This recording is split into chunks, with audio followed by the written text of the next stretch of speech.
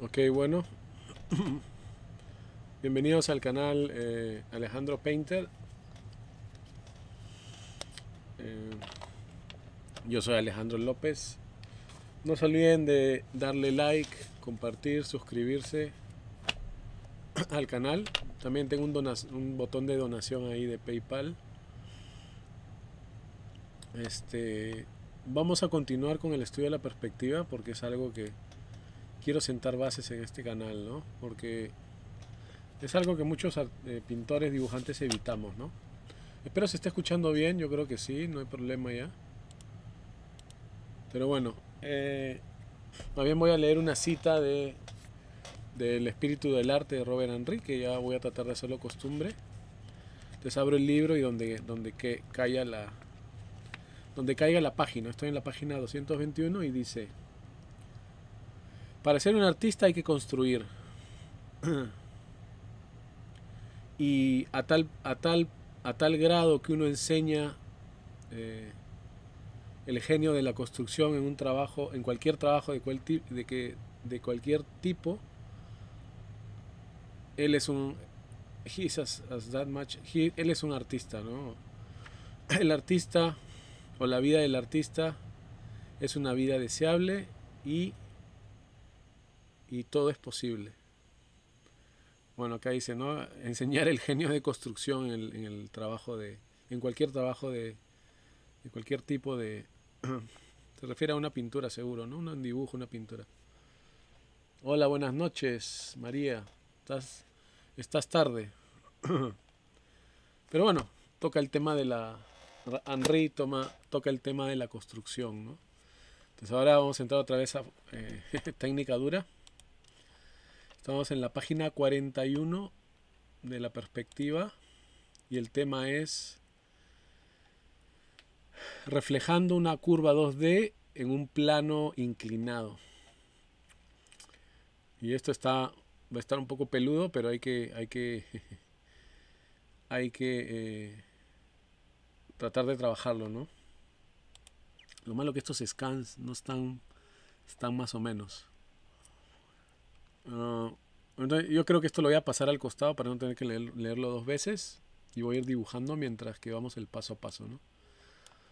Como digo, yo la perspectiva la he tomado antes muchas veces, pero nunca a este grado de, de ¿cómo se llama? De, quizá de perfección o de, de tema. ¿no? Este libro es de Scott Robertson, yo lo he mencionado antes. Si quieren saber dónde está el PDF, tienen que ir al video primero. ¿no? Pero este es haciendo ejercicios a mano alzada. Si quieren seguirme tendrían que dibujar conmigo, ¿no? Si no, eh, no, no, sé si les va a servir tanto. Dale más opacidad. Entonces lo que quiero dibujar ahorita es un plano. Dice, define un plano inclinado, ¿no? Entonces este está en 3D. Recuerden que aquí no, no puedo hacer lo mejor posible Voy a hacer lo mejor posible para dibujar, no es tan sencillo esta tableta. Eh, tenemos un plano inclinado.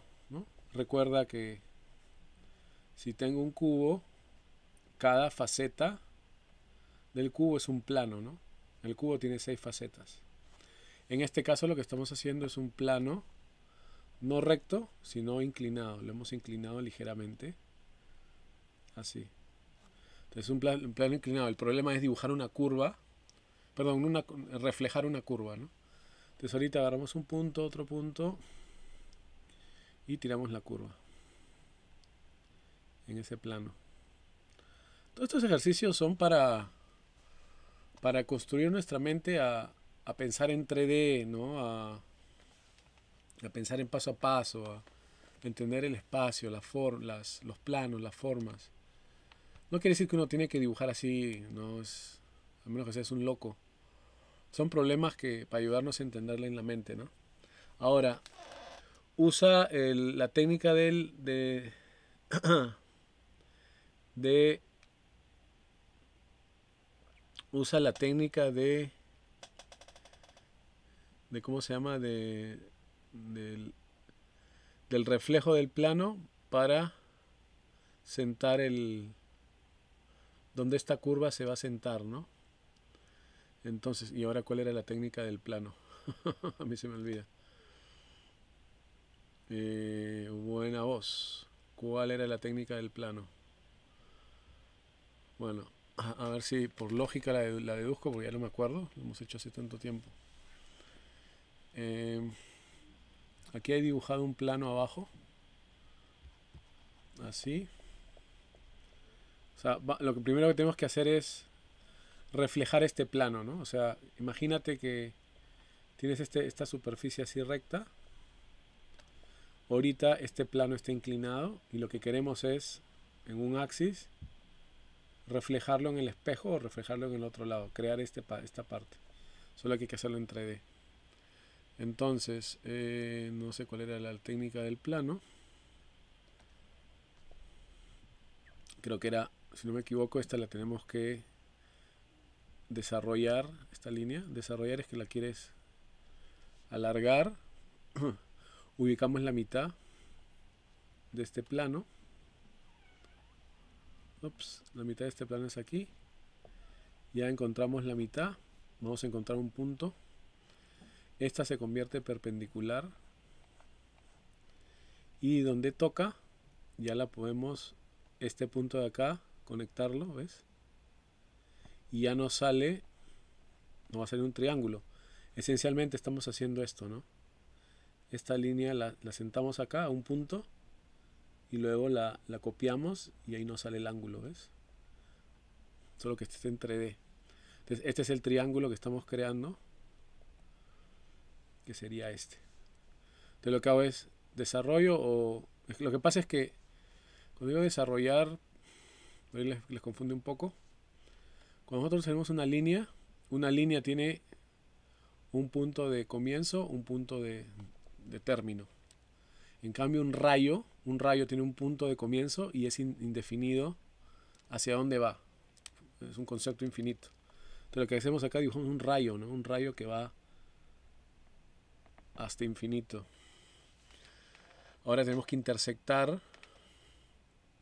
Ahora, ¿cómo hacemos? Eh, yo no me acuerdo ¿Qué está haciendo acá? Bueno, esta línea recta la sube. Eh, aquí ya, yo no me acuerdo muy bien cómo él desarrolla ese plano, ese plano pequeño. Eh,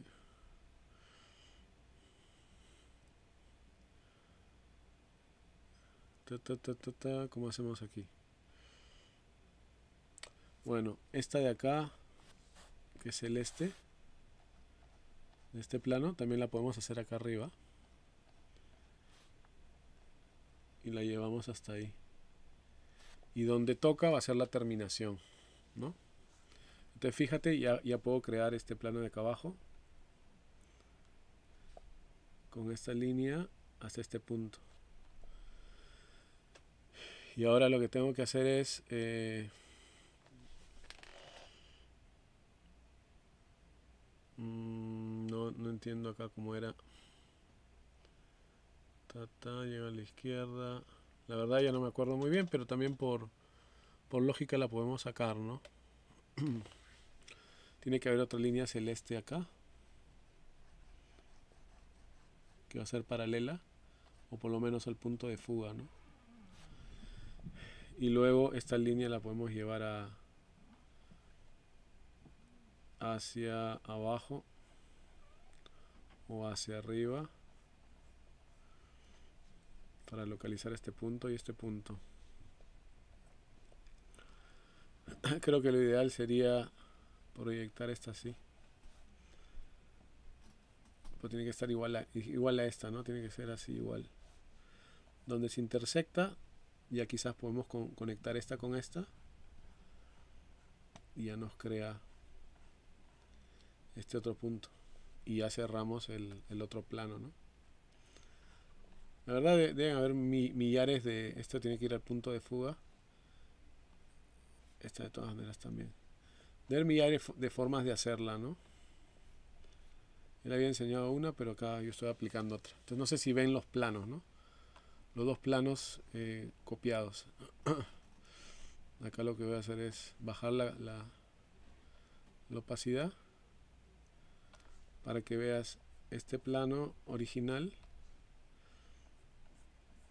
porque tantas líneas te puede marear, ¿no? Veo este plano original.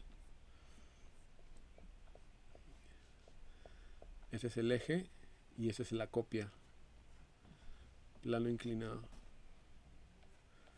Entonces yo lo que tengo que hacer, según la técnica, es esta curva que tengo aquí, tengo que reflejarla acá, ¿no? Entonces tú, sabes que va, tanteando tú, tú vas a decir que debe estar más o menos así, ¿no? Ahora vamos a hacerlo matemáticamente porque, o geométricamente, porque una cosa es tantear, otra cosa es hacerlo de esa manera, ¿no? Entonces veamos cómo el tercer paso, una vez que ya tengo el plano reflejado, dice dibujo un diagonal en dos, ah ya, en dos, en los dos lados que intersecte la curva. Entonces lo que voy a hacer es, vamos a usar otro color. En este plano dibujamos este diagonal de aquí a acá y encontramos un punto acá. En el otro plano vamos a hacer lo mismo, de aquí a acá. Y ya nos va a dar este, como nos da ese, ese, ese punto, hay que proyectarlo, ¿no? Dibujo una línea en perspectiva en la dirección de la intersección hasta que cruce, hasta que cruce el diagonal, ¿no? Entonces, si tú te das cuenta, con la línea verde, lo que hago es este punto de acá tiene que seguir este, esta dirección, ¿no? Eso es lo que te... Cuando dibujes de esta manera tienes que acordarte, acuérdate de los de las direcciones que tenemos, ¿no? Tenemos una dirección así, dijimos era la Y,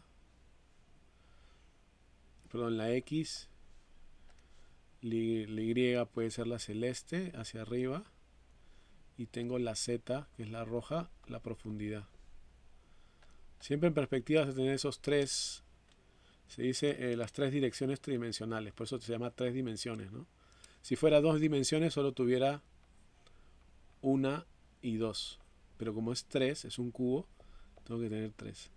Entonces este verde, este punto que está ahí en ese plano, lo quiero proyectar en la misma línea de estas, ¿no? Tengo que hacer eso, tiene que estar casi casi paralela y ya se intersecta con el plano en el otro lado, con el diagonal. Y ahí ya creé ese punto. Entonces ya por lógica, si tengo ese punto,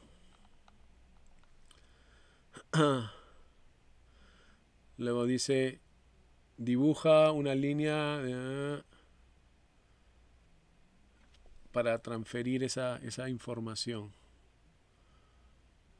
Entonces, draw a line from the intersection of the center line.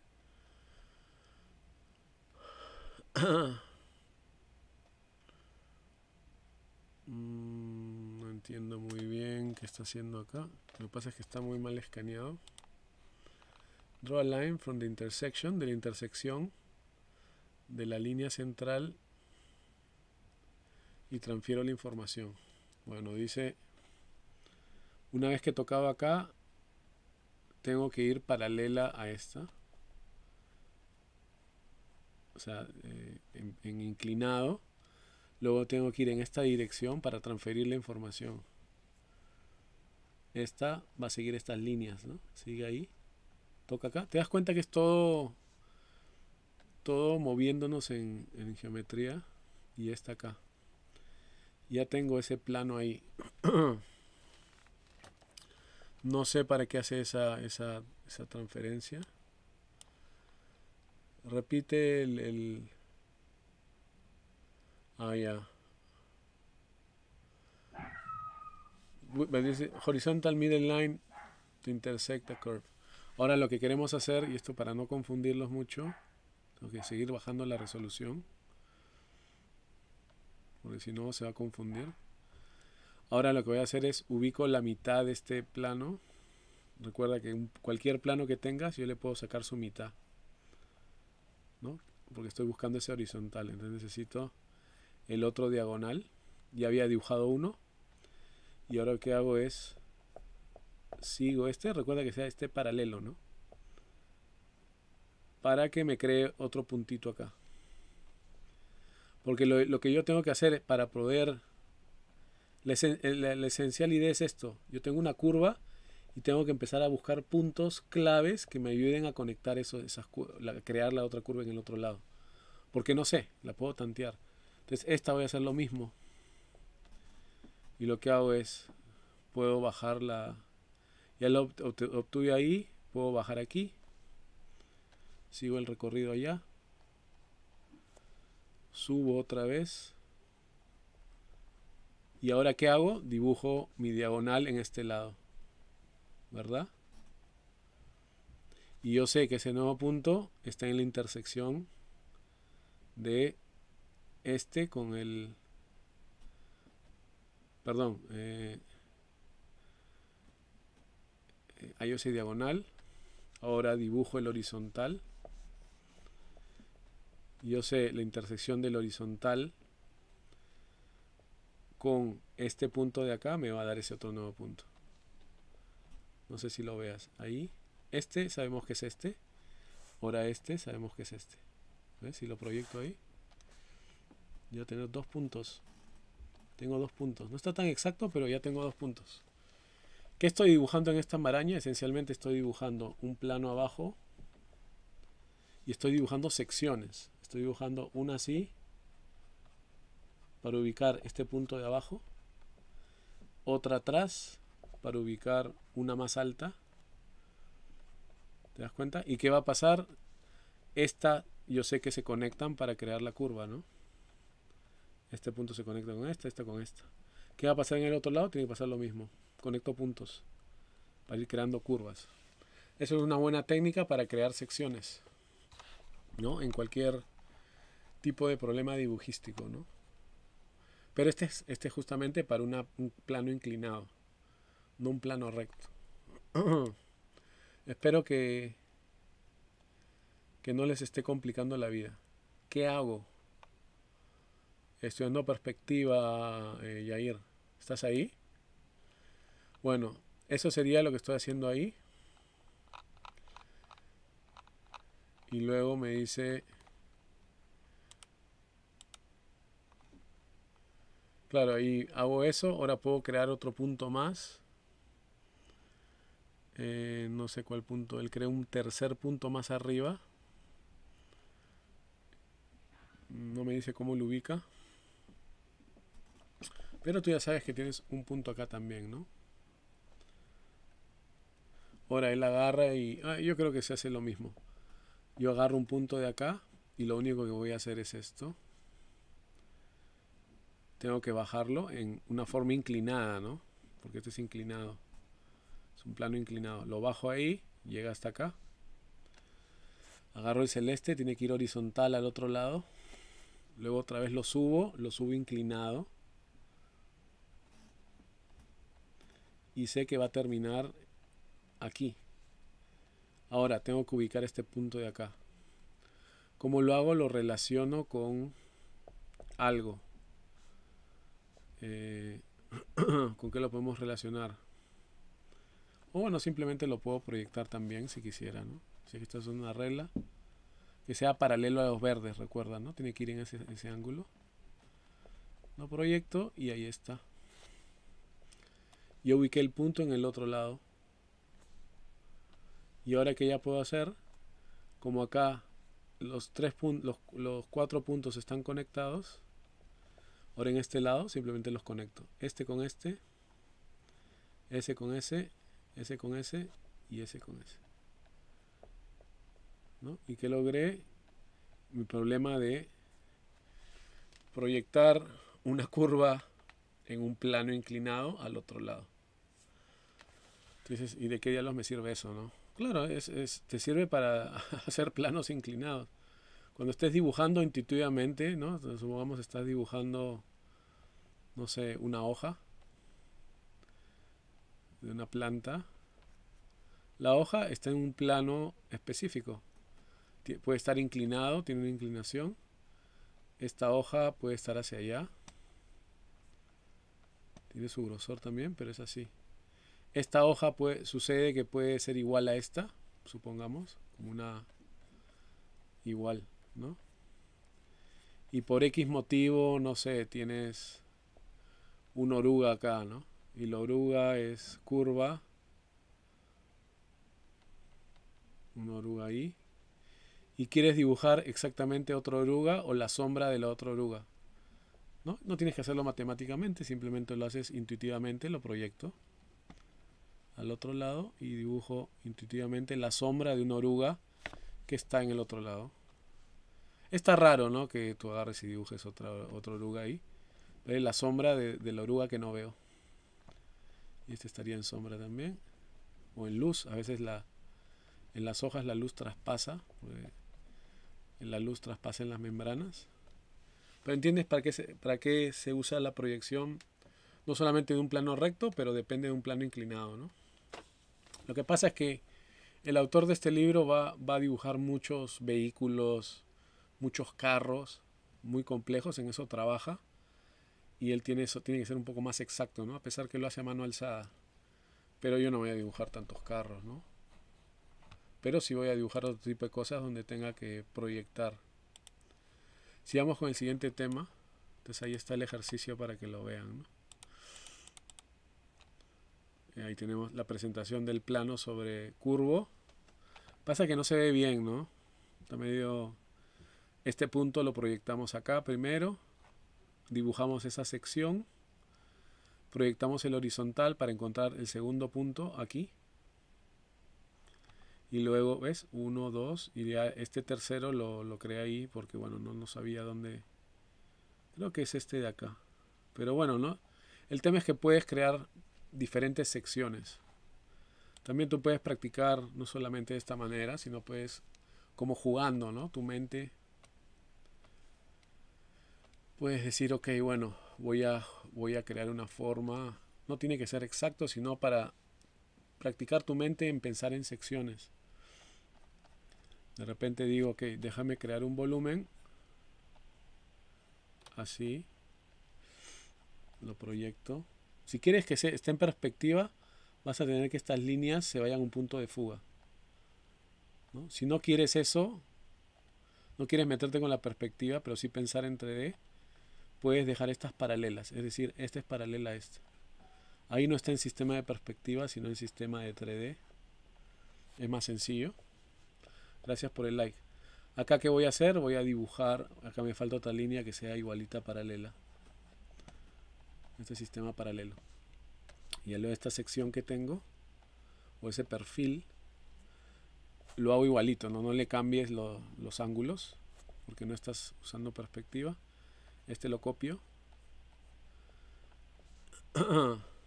Para que juegues, eh, como digo, intuitivamente, ¿no? Sin reglas o crea una forma.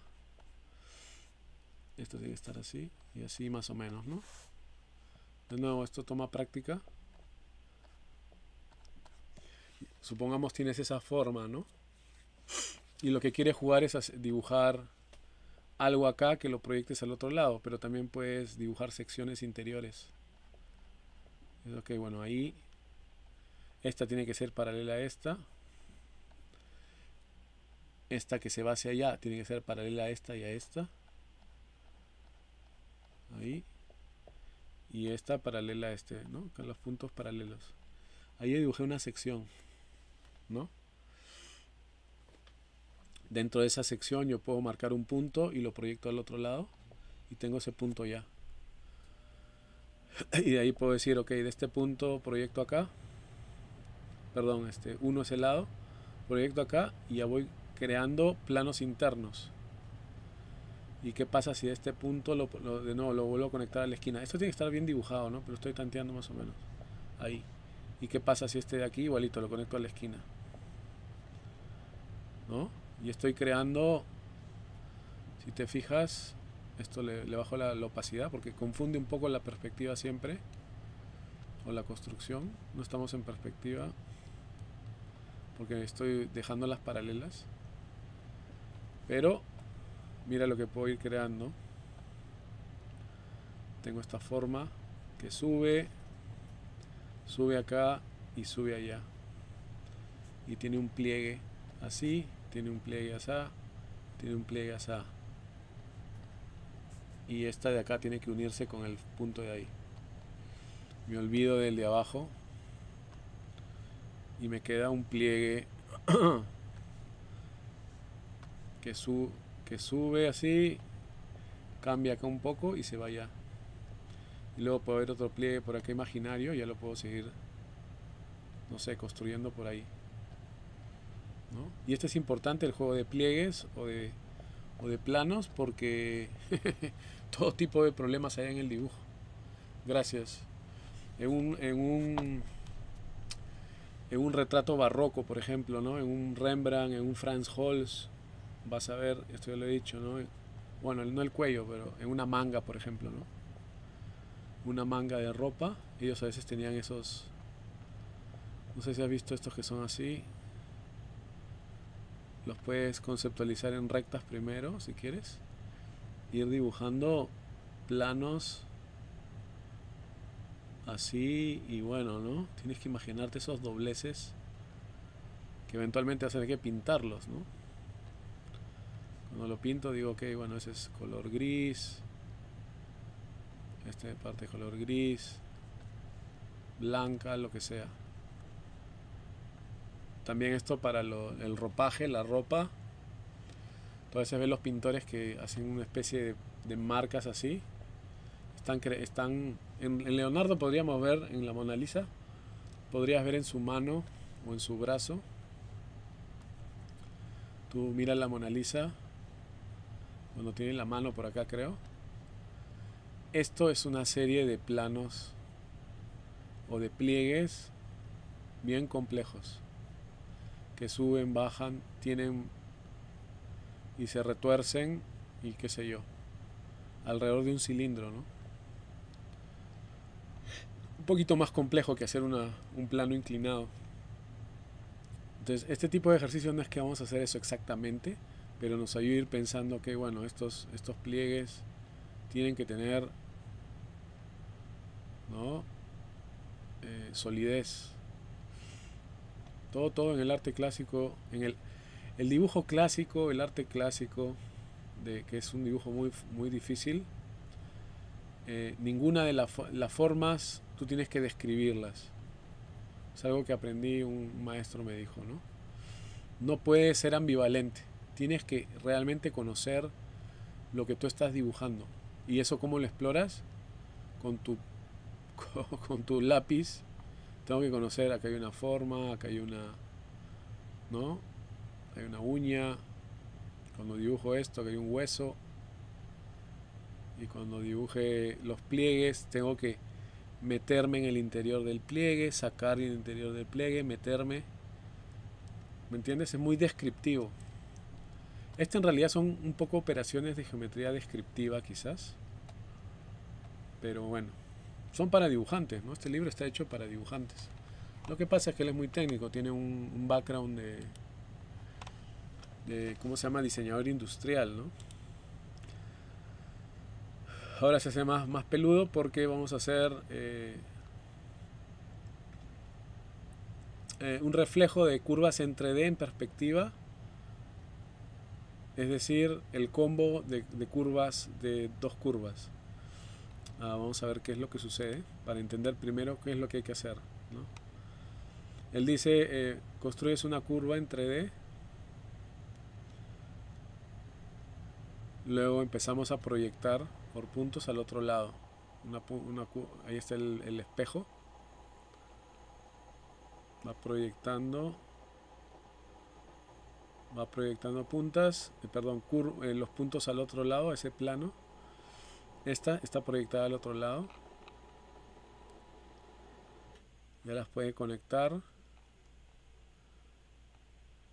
Eh, para crear un volumen, ¿no? Acá hay una curva abajo y en el otro lado se, se crea también. Entonces estás creando dos curvas, ¿no? Esto no necesitas dibujarlo así, pero si haces el paso a paso vas entendiendo, ¿no? Pero bueno, a ver qué tal sale. Yo primera vez que lo voy a, lo vamos a hacer. Yo tengo este libro en físico, pero nunca lo, lo estudié un poco, pero se me parecía complejo. Ya eh, tomé un poco de perspectiva y entiendo un poco más, pero todavía se me, parece complejo, ¿no? Pero bueno, eh, construyamos o construye una curva 3D, full, full.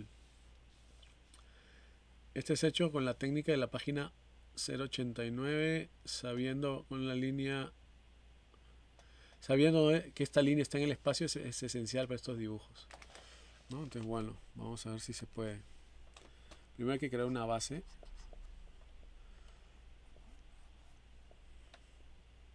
Y hacer esto mano alzada es jodido porque todo tienes que hacerlo con... Creo que más fácil sería en un papel, ¿no? Pero bueno. Un poquito más larga.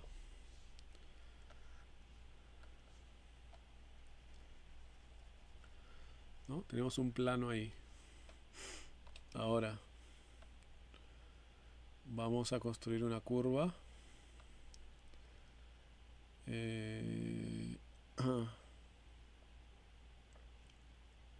¿Cómo la podemos hacer?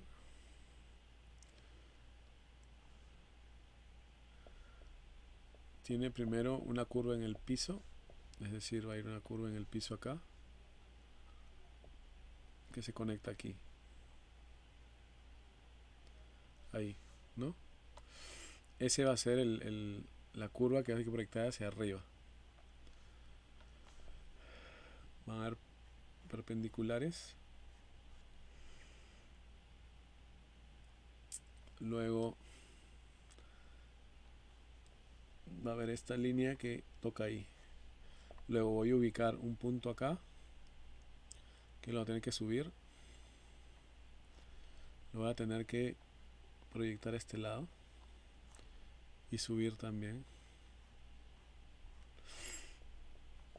Este de acá también lo subo. Y lo cierro. Fíjate que estos estén bien, ¿no? Voy creando... Lo que voy a hacer es esencialmente crear secciones, ¿no? Hay un punto ahí. Ahora este lo uno ahí. Y este lo proyecto. Diga claro, ¿no? Me crea otro curva en el otro lado. Esta es la principal. Eh, ya la podemos dibujar en el espacio. Lo que pasa es que no sabemos cuál es su locación. Por eso que se, ubican puntos, ¿no? Agarro este punto igual. Es muy lógico, ¿no? Le tiro una perpendicular. Conecta con la de abajo.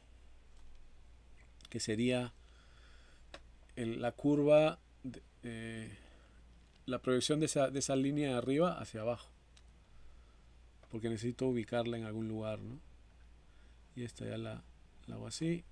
Y si la proyecto arriba, ya cierro, voy cerrando acá y creo otra, otra sección y me da el punto ahí.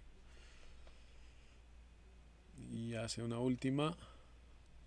Hace cuatro secciones, ¿no? Un poquito lejos, hagámosla acá. Este punto lo subo hasta que toque la curva, ¿no? Esta curva no está así. Él tiene un canal, Scott Robertson, si es que lo quieren ver. Cómo lo hace. Yo de repente más adelante, porque esto se va a ir complicando para mí también. Yo tengo un video de él, ¿no? Tengo un video, un par de videos de él, los compré hace años. Este hay que proyectarlo igual, ¿no? Ya nos va a dar el otro punto. Y estuve practicando de ese video y eso, ¿no? ya cuando entraba a secciones se me complicaba. Por eso que él sacó este libro, ¿no? Ya lleva años. Muchos, muchos dibujantes lo, lo, este, lo, estudian, ¿no? Pero él lamentablemente no tiene un curso exacto donde te enseñe. Disculpa, mañana terminaré de ver el vivo. No hay problema, María. Ahora empezamos a... Eh, ahora empezamos, ¿cómo se llama? A, reflejar esas puntas, esas líneas, ¿no? ¿Cómo lo hacemos? Pues estiramos esta línea acá. ¿No? Y lo que haces es un diagonal. Ahora, el diagonal tiene que estar a la mitad.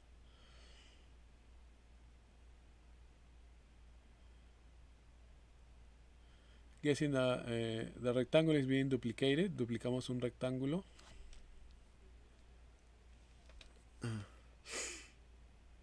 Y hay que, hay que ver dónde nos va a caer este punto, ¿no?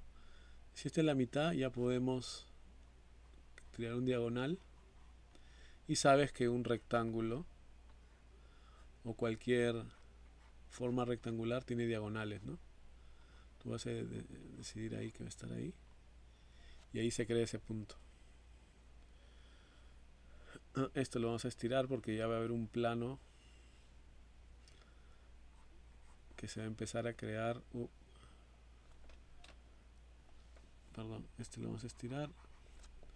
Y ahí ya se crea, ¿ves? Este lo vamos a estirar. Y vamos a tener que crear en cada punto. Y hacer lo mismo en la operación, creo, en todos lados, ¿no? Un poquito complejo, pero hay que, ser, hay que ser pacientes. Repetimos el proceso para crear las otras curvas. Ya, entonces hacemos lo mismo. De este punto lo seguimos estirando. Este punto lo seguimos estirando en el piso y arriba. Ahora eh, ubicamos la mitad. Tienes que ubicar la mitad para crear un rectángulo. Para duplicar este, ¿no? Si tú tienes si tú tienes la mitad de acá, este va a ser igual a este, al número 2. Entonces, trasladamos esto, es una operación de perspectiva y ya nos crea el, otro punto. Si quieres lo bajamos, pero ya empieza a, a crear ese punto reflejado. ¿no? Porque este es el punto, la, la curva original.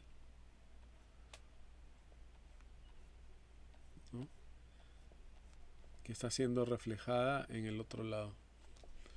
Hacemos lo mismo acá. La mitad. Proyectamos. Nunca pierdas el... Si esto no los haces rectos, no te va a salir muy bien. Trata de concentrarte en eso, ¿no? Pero recuerda, este, este, este es el séptimo video, entonces... Si no has visto los otros videos, por ahí se te va a dificultar. Pero bueno, ¿no? Ahí está el otro punto y aquí igual. La mitad. Este va a ser un poco más largo. Este lo alargamos. Este lo alargamos. Donde toca, ahí va a bajar. Por ahí se nos pasa. Y ahí estaría el punto por ahí. Y ya creó su reflexión, ¿no?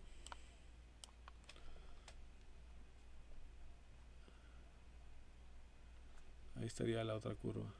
Idéntica, pero fíjate que es. Se ve diferente, ¿no? Es un reflejo. Eh, esto se va a hacer más fácil, ¿no? Estos, estos, estos de perspectiva son un poco tediosos, pero bueno.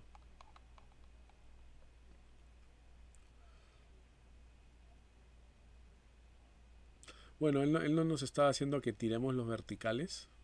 Simplemente con el, simple, el, proceso era este. O sea, con el diagonal, fíjate, el diagonal. Y con este, tranquilamente encontramos los puntos de arriba. Esta la desarrollo y esta línea diagonal, encuentro esto. Y el, el siguiente paso era tirar las verticales para que se intersecten en el piso. Porque ahora lo que quiero encontrar es esa curva en el suelo. Entonces ahora sí tiene sentido tirar verticales.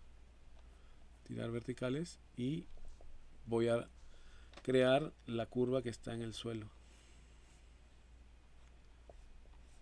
Entonces fíjate, ya tenemos una curva, una, un plano abajo completamente simétrico y uno arriba.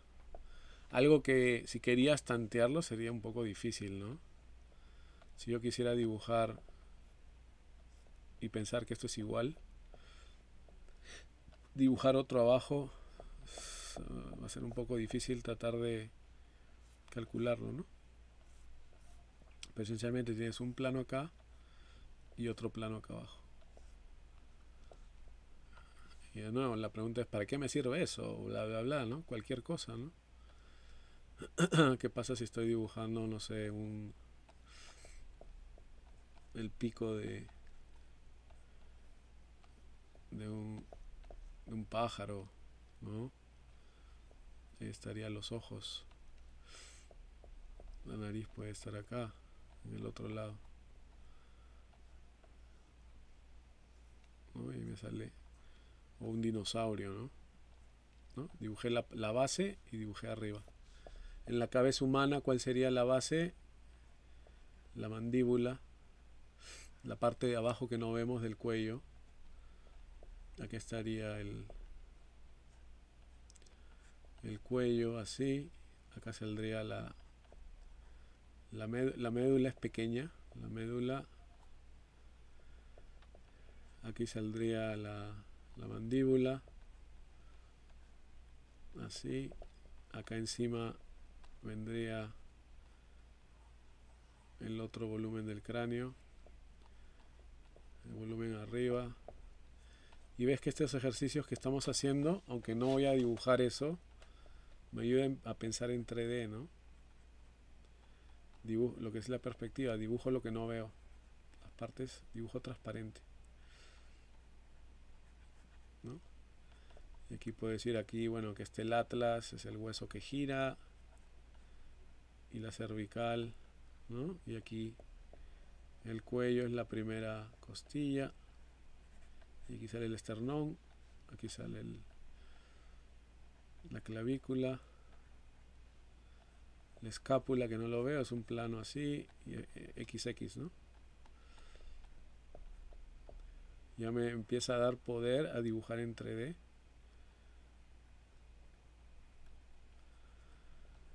si quiero ser más orgánico, ¿no? Ya puedo cambiar la forma a más orgánico. Acá está el temporal. Ahí está el cuello, cigomáticos, garganta. Los músculos de abajo que no veo.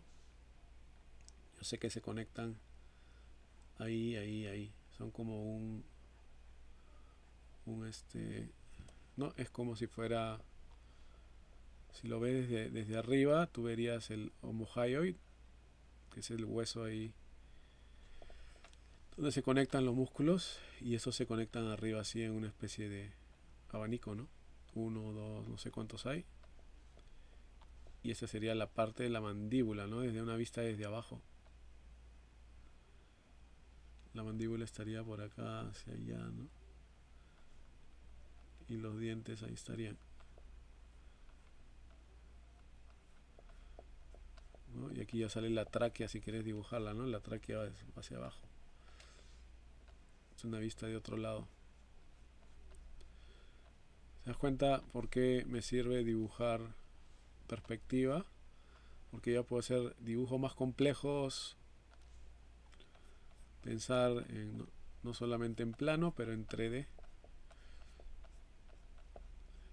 Está claro que si quiero hacerlo más puede necesitar eh, referencia, ¿no? Pero ya puedo pensar en 3D y verlo desde arriba, ¿no? El cuello, aquí estaría el cuello. Y ahí el pectoral por acá, ¿no? Si estás dibujando una, cabeza desde arriba.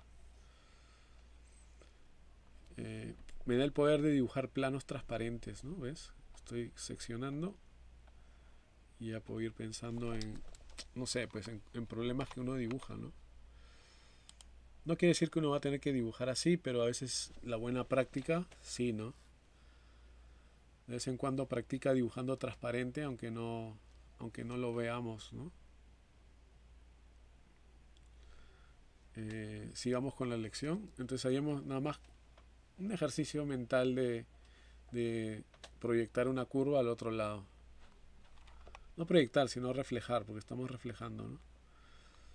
Si esta vez lo veríamos desde una vista desde arriba, en planta, sería pues línea central, este plano estaría acá y el de atrás estaría allá, ¿no? Y esta curva que hemos dibujado así, de repente es así, desde arriba, y la otra es la que hemos encontrado al reflejarla, tiene que ser igual, ¿no? Y la base de abajo hemos ubicado su base también, cómo se vería. Que creo que es igual, ¿no? Porque está, está proyectada igual. Tiene que ser una base igual. Este es un volumen, si lo hacemos totalmente sólido, sería un volumen así, ¿no? Una masa totalmente sólida. Ups, así sería. La geometría tendría ser un poco rara, pero sería así, ¿no?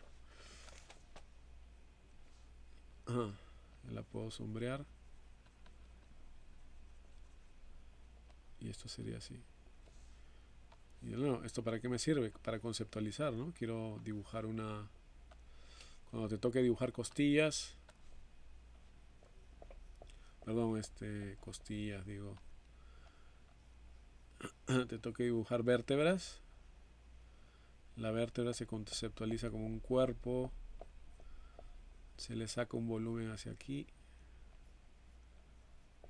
que sería lo que vas a ver en la en la parte de tu, de, tu espalda no tiene las alitas también los picos de acá. Ya no me acuerdo cómo es puedes estudiarla.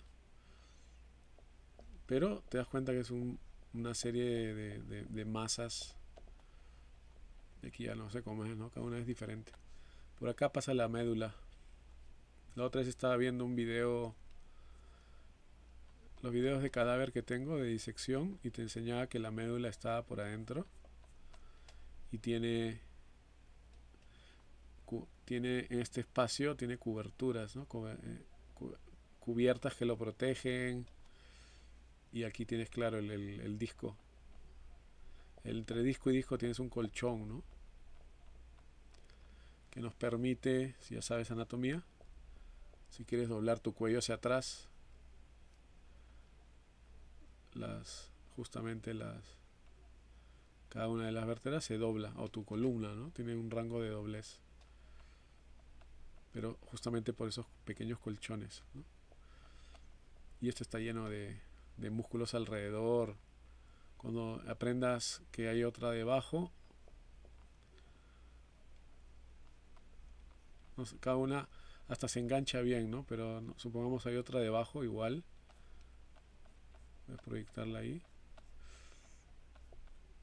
¿No? Eh, los músculos que agarran, hay varios músculos que se agarran uno con el otro.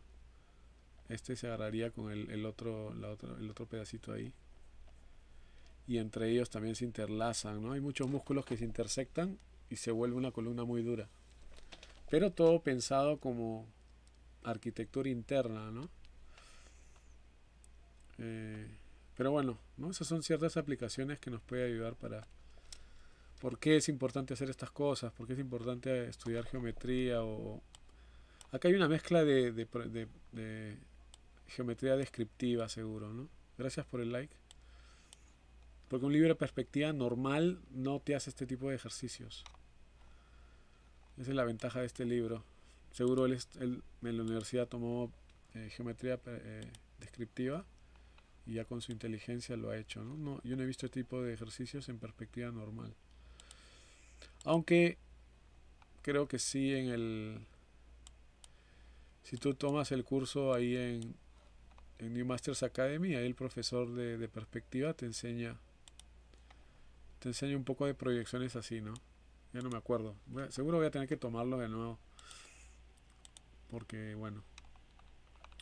Seguimos con el tema de la perspectiva. Aquí. Bueno, acá hace un layout. Esto todavía no lo explica, ¿no? No lo he explicado. Pero podemos verlo un poco. Esto, por ejemplo, eh, veamos qué dice acá, aunque no sé, no sé si voy a entrar a explicarlo en el siguiente. Porque son grids, ¿no? creando grids son eh, nets. Creando nets en el siguiente capítulo.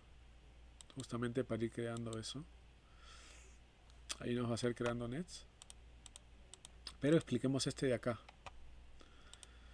¿Qué pasa aquí? Bueno, eh, si este es tu cuadro o tu papel, tú puedes establecer, y déjeme copiar esta imagen, ¿no? No tienes que ser exactamente matemático, sino lo que creas es, tú como pintor, dibujante, estás creando un espacio para que trabaje para tu cuadro, ¿no? Usualmente cuando uno ya quiere hacer un cuadro y de repente, no sé, va a haber una parte de perspectiva por ahí, ¿no? Vas a ver una figura por acá, estás creando un espacio ahí. El, consejo siempre es de la gente que he escuchado de perspectiva, ¿no? De los que he estudiado.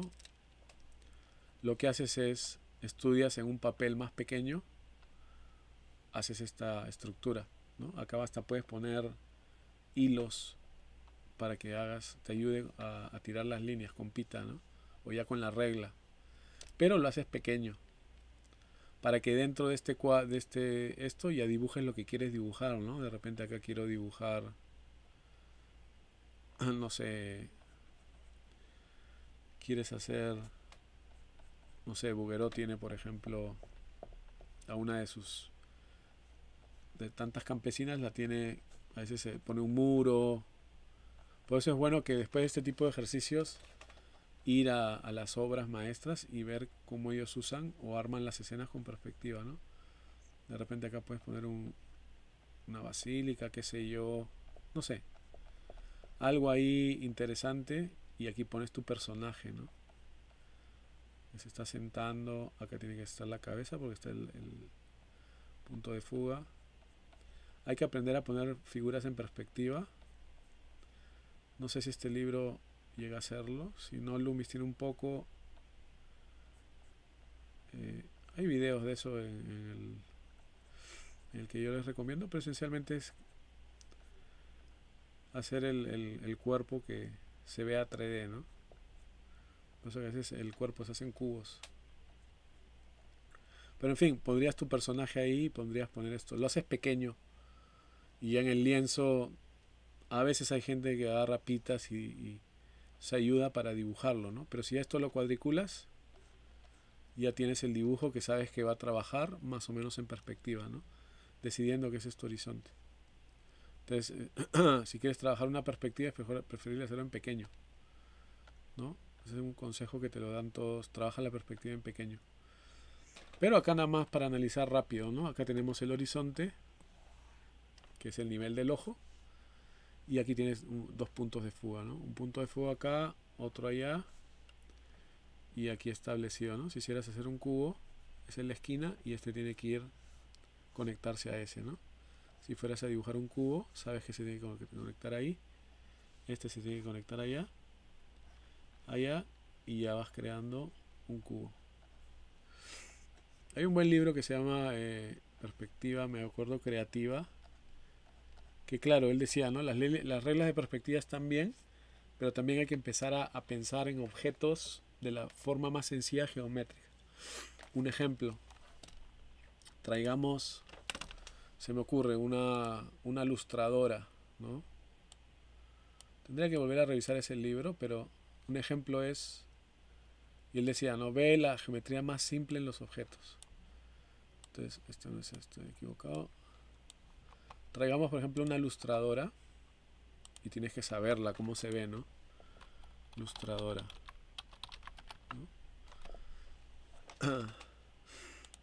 ¿no? sé, ilustradora, aspiradora, perdón, yo quería buscar una, no ilustradora, sino aspiradora. Que es similar, ¿no? Una aspiradora mejor, que es más conocida. Ya. Una aspiradora, ¿no? Aspiradora. Eh, usemos bueno las que yo siempre que conozco son así no esta por ejemplo. Una ilustradora. Con una simple no esta a ver. Esta de acá entonces por eso que también puedes tener referencias, ¿no? Para dibujar uno no tiene que copiar fotos solamente, sino entender la, estructura de las cosas. Entonces tengo esta, esta ilustradora y yo la quiero poner en perspectiva. Ahora, quizás necesitarías otras vistas más porque es muy difícil entender ese objeto. este estaría bueno, ¿no? Ahí está, la vemos en 3D. Y fíjate lo que tú, este tipo de ejercicios tienes que hacer. Poco tiene que ver con la perspectiva, sino de construir el objeto, ¿no? Y en los consejos que él te da. Todo lo podemos hacer cúbico, ¿no? Entonces quiero poner esa ilustradora. Acá tengo su otra vista. Y yo como dibujante, para mí es un problema de dibujo. Ya no es simplemente copia, ¿no? Ya estamos dibujando. Tienes que pensar como dibujante, ¿no? Entonces digo, bueno, quiero poner una ilustradora en este sistema de dos puntos de fuga. Porque ya he establecido los parámetros del espacio. Acá ya hay literalmente un piso que tengo que ilustrar, si quieres, o aspirar, perdón. Y aquí literalmente hay un cubo ahí de madera, supongamos. Y mi ilustradora la quiero poner aquí, eh, acá al frente. Aquí. ¿Cómo la voy a poner? No? Lo primero que tenemos que hacer es esto de construirlo en lo más básico. ¿no? Si yo veo y empiezo a marcar líneas, puedo decir, bueno, la ilustradora tiene esas proporciones acá al frente. Tiene esta proporción larga y así. Y digo, bueno, ¿qué tan alto es? Ahí es lo mismo cuando dibujamos un ser humano, ¿no? Tiene o cualquier objeto lo, lo, proporcionamos, partimos en proporciones para entender sus proporciones. Mira qué tan largo es. Acá va a ser lo mismo, pero ese plano tengo que entender que es va a estar en tres dimensiones, ¿no? Pero las divisiones van a suceder por ahí, por allá.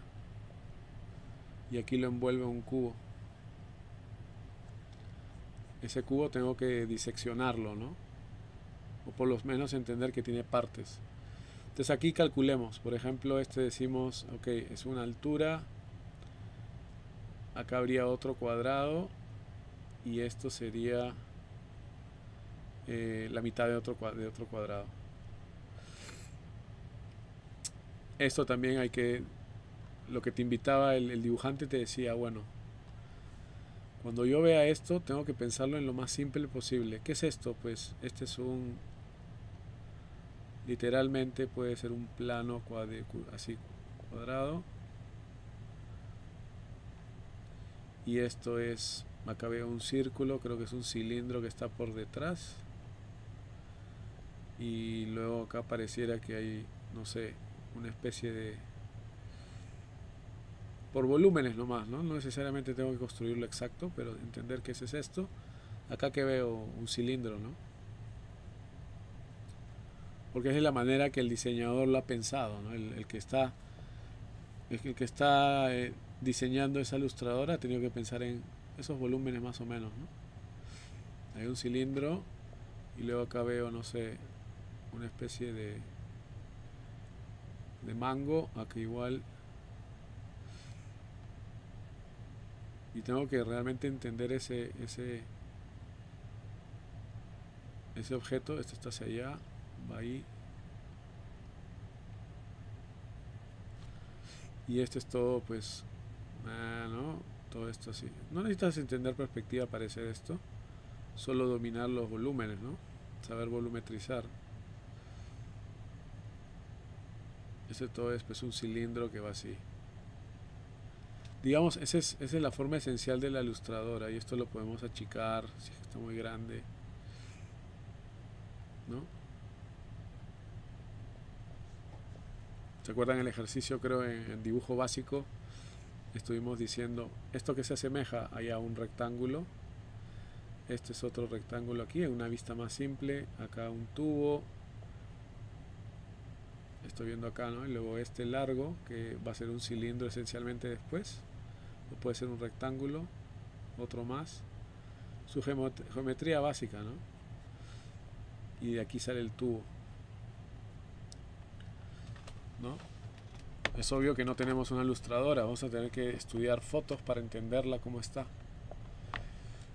Y en mi pintura, en mi dibujo quiero eso, si no quieres complicarte la vida, pues vas a un programa 3D como Sketch, Sketch, ese lo voy a presentar alguna vez, de Google SketchUp, donde importas eh, modelos 3D y lo mueves y le sacas una foto, eh, lo capturas y ya lo tienes en perspectiva. Pero si eres un dibujante, pues vas a tener que en este espacio dibujar esto. ¿Y cómo lo vamos a hacer? Vamos a tener que dibujar formas básicas, ¿no? Y calcular la altura. No tiene que ser exacto, pero por lo menos entenderlo. Y la queremos poner ahí, ¿no? Eh, podemos decir, este cubo mide tantas unidades. Un, ser humano, digamos lo que es, es así. Porque usualmente si el horizonte está ahí, sus ojos pueden estar ahí, ¿no?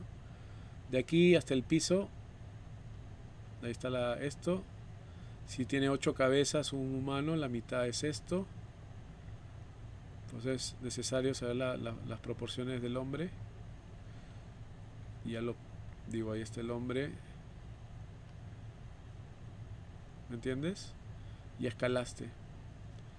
Para tener una idea de, de que más o menos de qué tamaño tendría que hacer esta, esta esta aspiradora.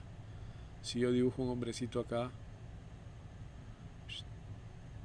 con sus patas, un hombre de palitos, la aspiradora es así más o menos, ¿no? Tiene que ser exacto. Quiere decir que, bueno, está a la mitad más o menos. Entonces ya si uno proyecta esto, dice, bueno, va a ser más o menos ahí. Podrías calcular exacto, pero para mí no tendría mucho sentido. Dirías es su altura donde va a ir y fíjate acá. Ese cubo, este cubo tiene que estar en perspectiva, ¿no? Este tiene que ir hacia allá, tiene que ir hacia allá, subo acá arriba, subo acá arriba, ese hacia allá, ese hacia allá, y cada vez se va cerrando ese cubo así. Dentro de este volumen, de repente tengo que poner esa aspiradora. Y ese va a ser tu problema de dibujante, ¿no? Este, esta aspiradora tiene una, dos unidades y media. Este cubo tengo que partirlo en dos unidades y media. Un cubo, dos cubos y medio, más o menos ahí. Luego tanteo, a la mitad de esa media está esa proporción. Entonces aquí de alguna manera eh, pensamos, digamos que quieres hacer esa vista puedes cambiarla, ¿no? Si logras conocer el objeto, puedes rotarla. Pero para no hacernos bola, trato de hacer la misma proporción. Trato de hacer la foto que tengo ahí, ¿no? Si no, va a ser muy difícil rotarla. Pero por lo menos tengo que cambiar acá la dirección, ¿no? Porque acá este cubo se ve que está así. ¿Te das cuenta? Este cubo ya no está así. Entonces tengo que alterarla y ya luego lo que tengo que hacer, todos estos volúmenes que, he estudiado, tengo que ponerlos ahí. De alguna manera tengo que poner un cilindro, un cubo y esas cosas básicas ahí adentro. Y coño, ahí está el problema, ¿no? Ahí está lo que se necesita ser confortable en, en, en perspectiva, ¿no? Y la mejor manera es tomar una clase, estudiar por libros poco a poco. Estos tienen que ir hacia allá, ¿no? Y vas construyendo una elipse.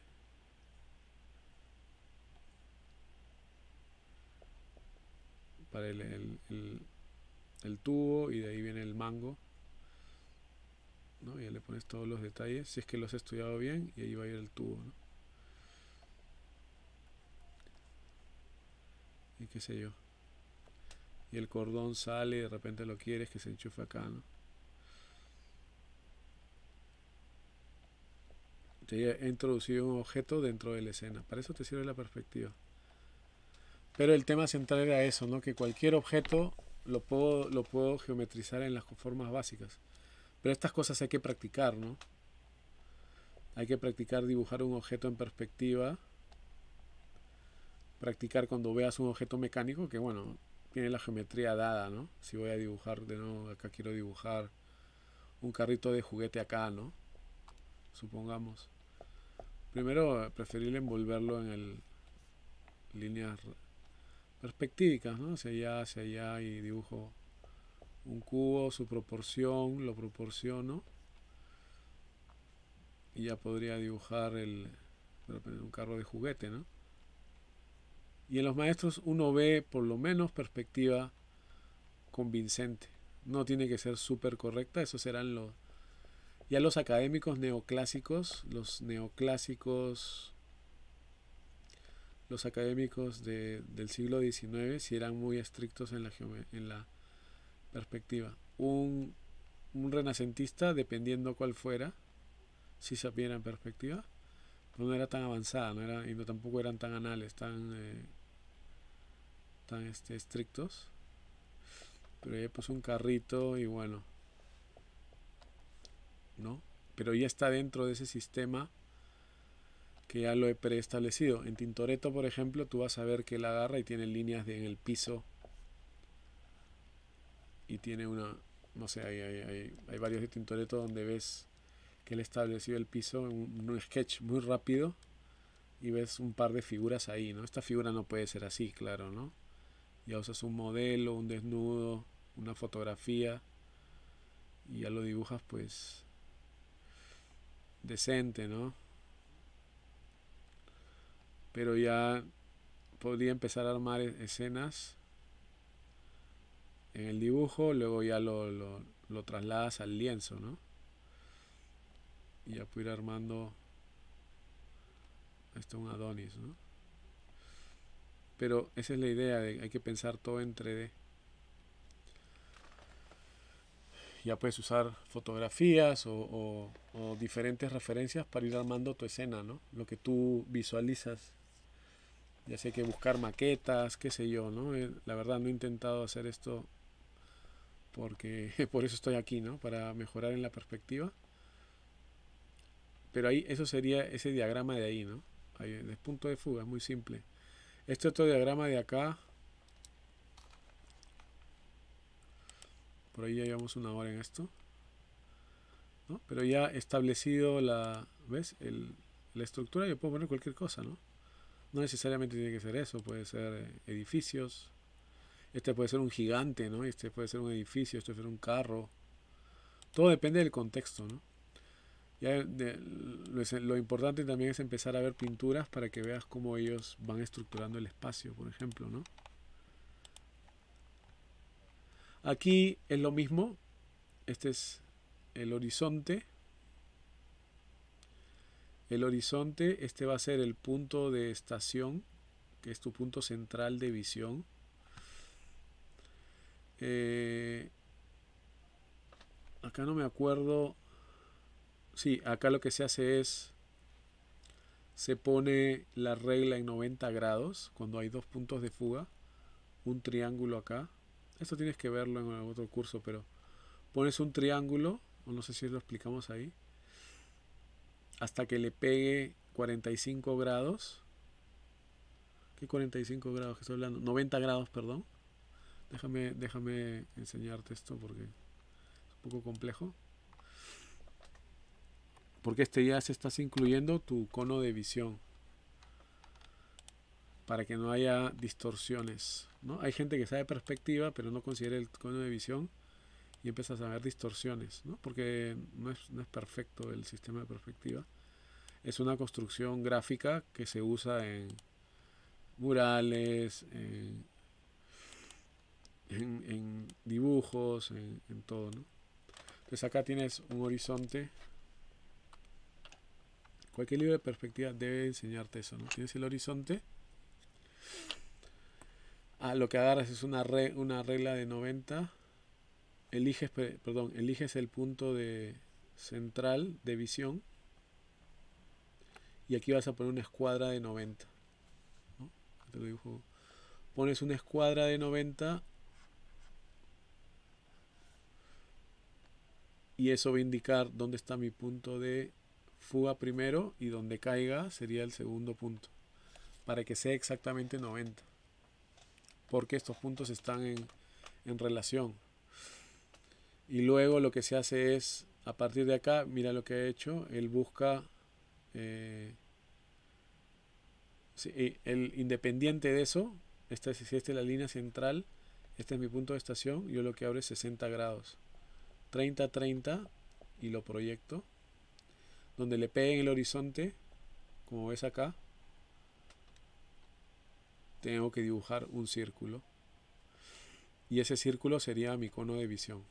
Y te das cuenta que el autor entiende muy bien eso, ¿no? El centro de visión y dónde ha tocado esa, estas líneas de 30 grados en ese horizonte y ahí más o menos, ¿no? Tiene que ser un círculo más o menos perfecto y ahí está tu cono de visión. Quiere decir que toda esta área que dibujas es dibujable sin problemas de distorsión. Si ya se empiezan a salir de este cono de visión, porque recuerda, si yo soy un hombre, este, yo soy, si no, yo soy, yo soy un ser humano, se calcula que más o menos es 90, 60. Mi cono de visión es lo que yo puedo ver normalmente. Ya más afuera de ello, si ves nuestros ojos, empieza a distorsionar, ¿no? Entonces, todo lo que dibuja acá, a partir de este punto de fuga, por, y aquí tú ves, ¿no? ha dibujado este, este plano en el que tiene que esta línea ir al punto de fuga, esta línea segundo punto, BP1, BP2, Vanishing Point, este tiene que ir acá y este tiene que ir acá. Entonces este plano que creó ahí flotando está dentro de mi cono de visión, va a funcionar bien en un cuadro. Y un cuadro lo que usualmente se hace es elige el formato del cuadro o el papel para que no se vea raro. Ahí tú dices, ok, bueno, mi, mi cuadro va a estar ahí más o menos. Esa es mi escena. Y sé que está dentro del cono de visión. A mí creo que me enseñó el, profesor, sí, más o menos pones un cuadrado ahí que, tiene que tocar los puntos del, del círculo, ¿no? Para que esté adentro para que no se salga. Pero este está correctamente dibujado. Este también.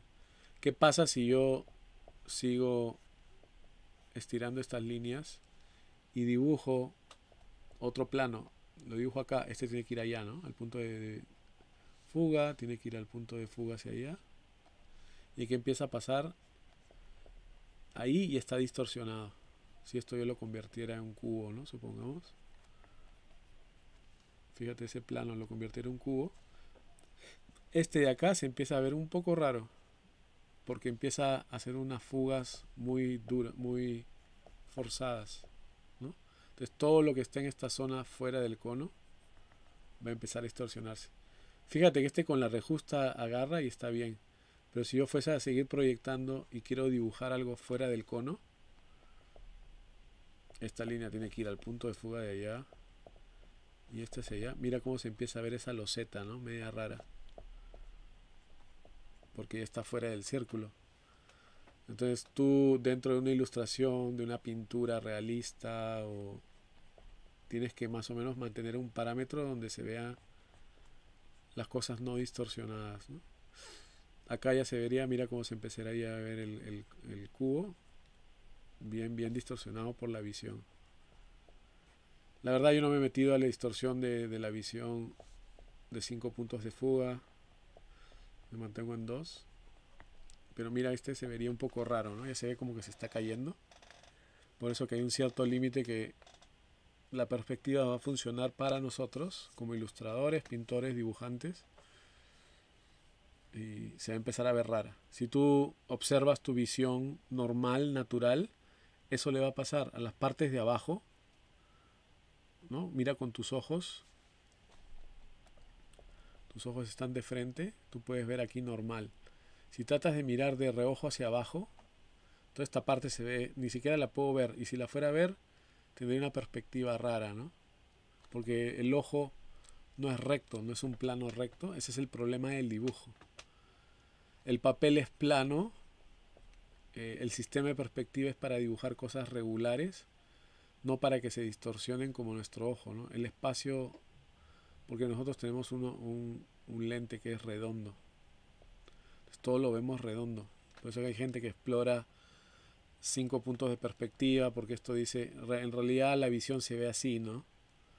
Yo me quedo con dos puntos, se acabó. Tres puntos puede ser porque es una vista aérea, pero ya tienes que sumarle un punto abajo, ¿no? Se empieza a complicar. Pero esa es la idea de la perspectiva, que todo lo que dibujes eh, esté en este, en este cono de visión. Y tú eres el que eliges qué tan lejos tiene que estar o qué tan cerca. Y eso es lo que va a mermar, o perdón, va, va a hacer crear donde pongas tus puntos. Cualquier perspectiva debe de explicarte eso. Si no, como les digo, les recomiendo New Masters Academy, si quieren un profesor de perspectiva, y hay un, capo que tiene un montón de videos. Entonces hacer todo tipo de cosas y es un maestro en perspectiva. O pueden ir a eh, Drawing Database en, en Facebook, perdón, en YouTube, donde está Mark Leone y él tiene una serie de perspectiva. Él no es perspectivista como este pero sabe bastante. ¿no? Entonces yo, si no quieres pagar, empezaría con este. Él tiene un montón de... Yo, es más, yo regresé a este, ¿no? Yo empecé con este, ya se me hizo aburrido, un poco difícil también, tedioso. Y ya me fui a él, me quedé en, creo que haciendo escaleras, ¿no? Hice un poco de... Pero a uno se le olvida, eso es lo malo de la perspectiva, hay que hacer apuntes. Es igual que la anatomía, ¿no? El color, uno cree que lo va a tener todo en la memoria y no es así. Entonces tienes que tener libros de referencia o, tus propias notas para acordarte cuando tengas un problema de dibujo o tengas una pintura donde quieras resolver algo. Eh, pero este Drawing Database tiene un montón de ejercicios gratis y él te hace dibujar y tú lo sigues. Y así es como aprendes, ¿no? Tienes que ir dibujando. Y este libro que estamos viendo no es con regla, te das cuenta, es todo con mano alzada. Pero revisa prácticamente conceptos de perspectiva. ¿no? Estos dos te van a hacer ser con regla, que es la manera más correcta de empezar la perspectiva. Pero eh, eh, es algo tedioso como la, eh, la, anatomía, pero te va a liberar. Es restringida al principio, pero una vez que la entiendes, te empezar a vas a empezar a ver tus cosas que tienen mucha dimensión. ¿no? Si no, siempre te mantienes plano. Por más que uno domine un poco la sombra y la luz, sin perspectiva vas a tener problemas de ubicación de las cosas, ¿no? Cuando pongas objetos, eh, tu composición se va a ver muy rara, porque solamente estás copiando y pegando cosas.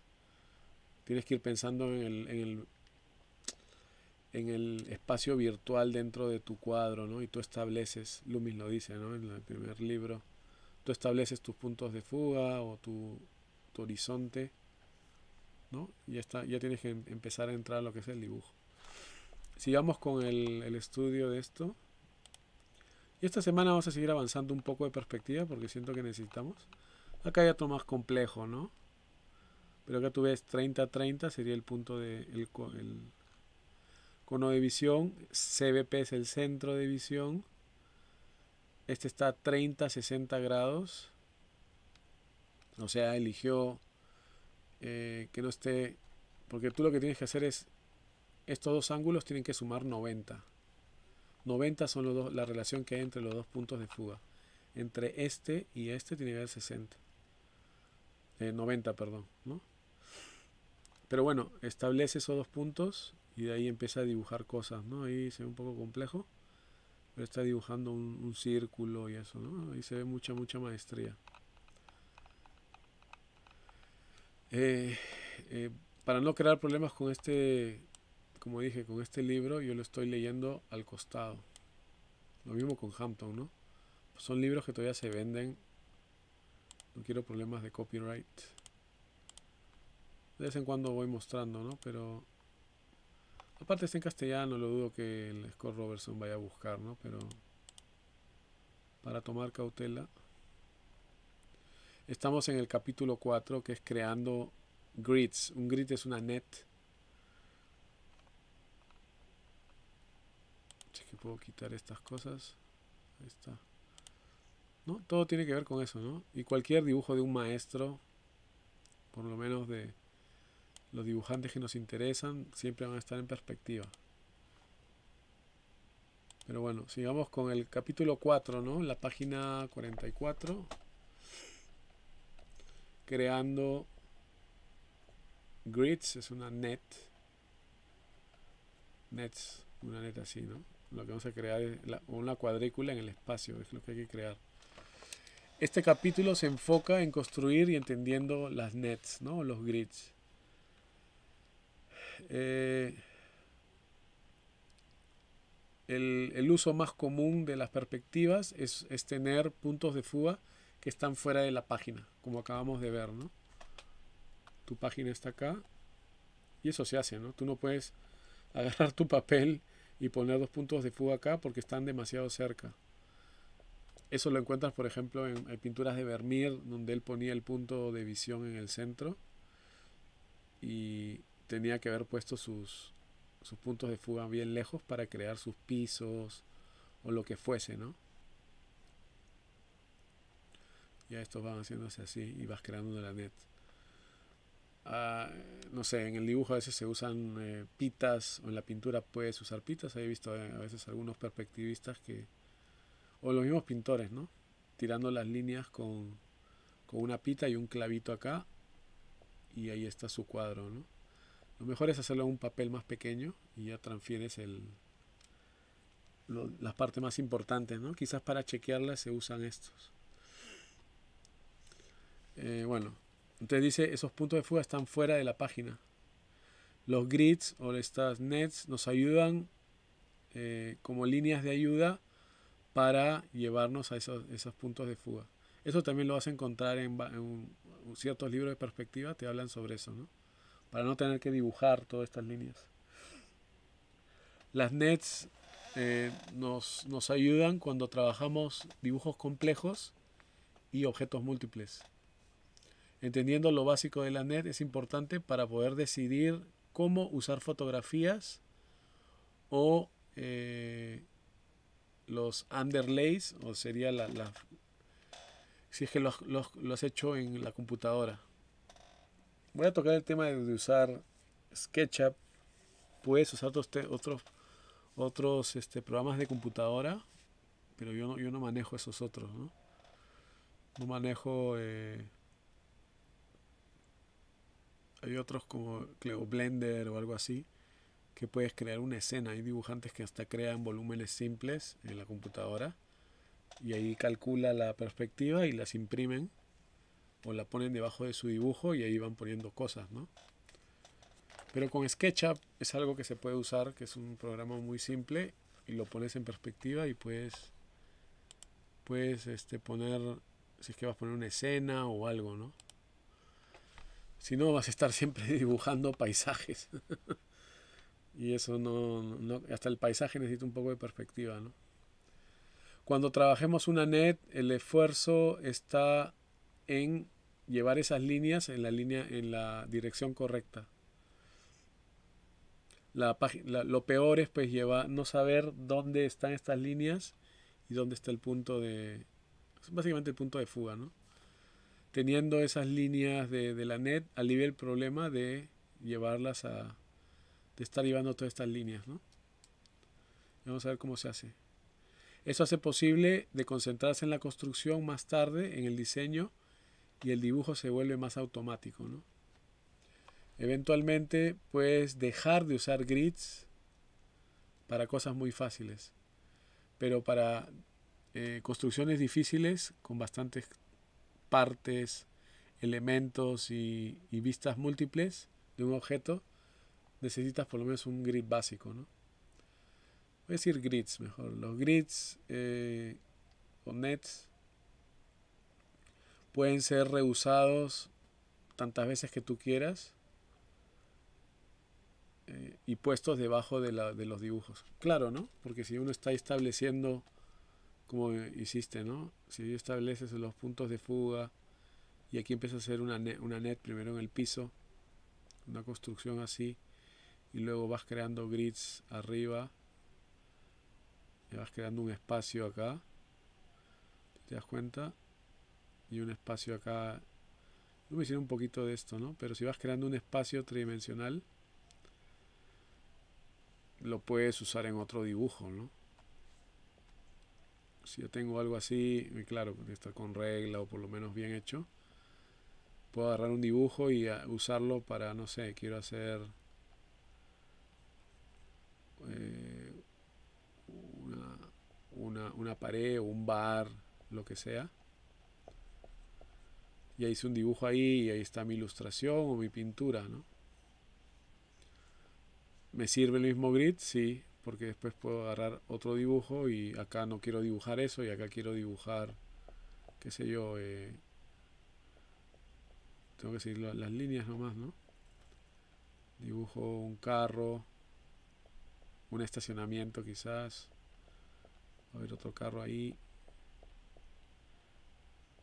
Y es bueno que, uno explore el usar también la computadora porque te va ayudar, ¿no? No se trata de... Es como la, la, la, foto, ¿no? La foto nos ayuda en el proceso de dibujo. Fíjate, ¿no? Si quiero una, quiero una aspiradora, que voy a dibujarla del natural, ¿de dónde? de repente no tengo una aspiradora, pero en mi dibujo, en mi pintura quiero una. Voy a tener que trabajar con fotografía y modificar la geometría y estás esencialmente dibujando, ¿no? ¿Qué pasa si en mi, en mi cuadro quiero dos carros, y uno de ellos pues es un Lamborghini o un, un este un Lamborghini un Porsche ¿no? voy a necesitar una fotografía para que me ayude a ver la información del bendito Porsche ¿qué? vas a ir a, a buscar uno en el natural es imposible ¿no? y aquí quiero poner un un Volkswagen que parecen los dos Volkswagen ¿no?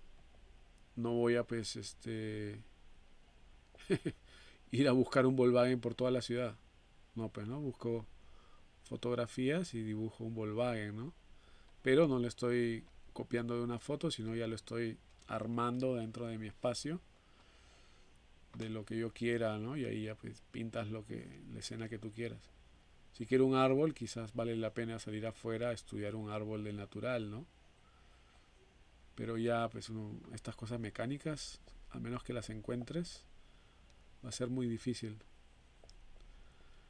Eh, pero ese grid de abajo ya me sirve, ¿ves? Puedo dibujar. Si ya preestablecí una net tridimensional, quizás puedo dibujar ahí, ¿no? Y aquí ya pongo una pared y no sé, ¿no? Y hago una ahí, pongo unas, personas. Si es que dibujado el natural me puede ayudar para dar información. Puedo usar fotos también para que me ayude a dar información de las cosas que necesitaré, ¿no? Como un ciclista voy a tener que construir ahí una, un plano ahí que se conforme a la, al net, a la net. Pero él de repente está hacia acá, ¿no? Él está mirando hacia acá está en otra dirección. esas cosas tienes que trabajarlas, ¿no? Eventualmente en tu pintura no tiene que ser exacta porque la pintura no es exacta. O es una moto, ¿no? No es exacta la pintura, pero por lo menos que sea creíble dentro del espacio que estás haciendo.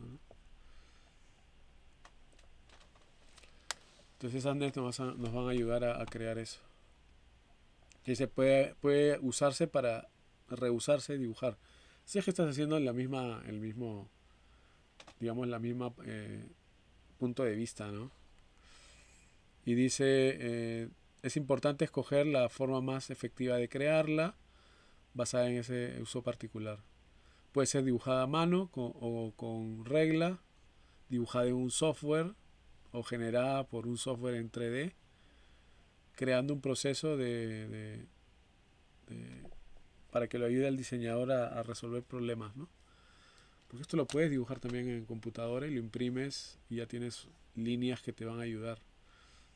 O lo haces con regla y ya pues el dibujo que tienes, ¿quién va a saber que tienes un grid debajo hecho a computadora, hecho a mano, ¿no? Y el dibujo es lo que cuenta a la larga, cómo estás basado en bocetos que has hecho del natural, basado en ciertas fotos. Ya recreas una pintura o lo que sea, ¿no? Eh, pero bueno, pasemos a la siguiente página, la 45. Perdone por la lentitud, pero bueno, ¿no? Esto sí hay que mostrarlo porque hay que ver estos dibujos, son muy buenos lo de Scott Robertson. Y dice, bueno, tipos de, de grids, ¿no? Veamos a, un par de tipos de grids, que, de grids o de nets, que usualmente se lo encuentras y son, son usadas en el dibujo. Es importante escoger el grid para considerar el dibujo final. Algunos grids son mejores para crear un environment. Environment es un... Eh, ¿Cómo se traduce esto?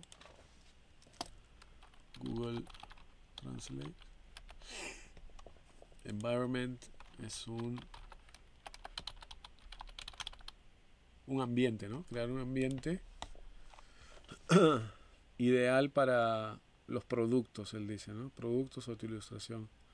Para hacer cosas más complicadas también depende el qué tan confortable estás, ¿no? No hay, dice, algo absolutamente correcto o incorrecto.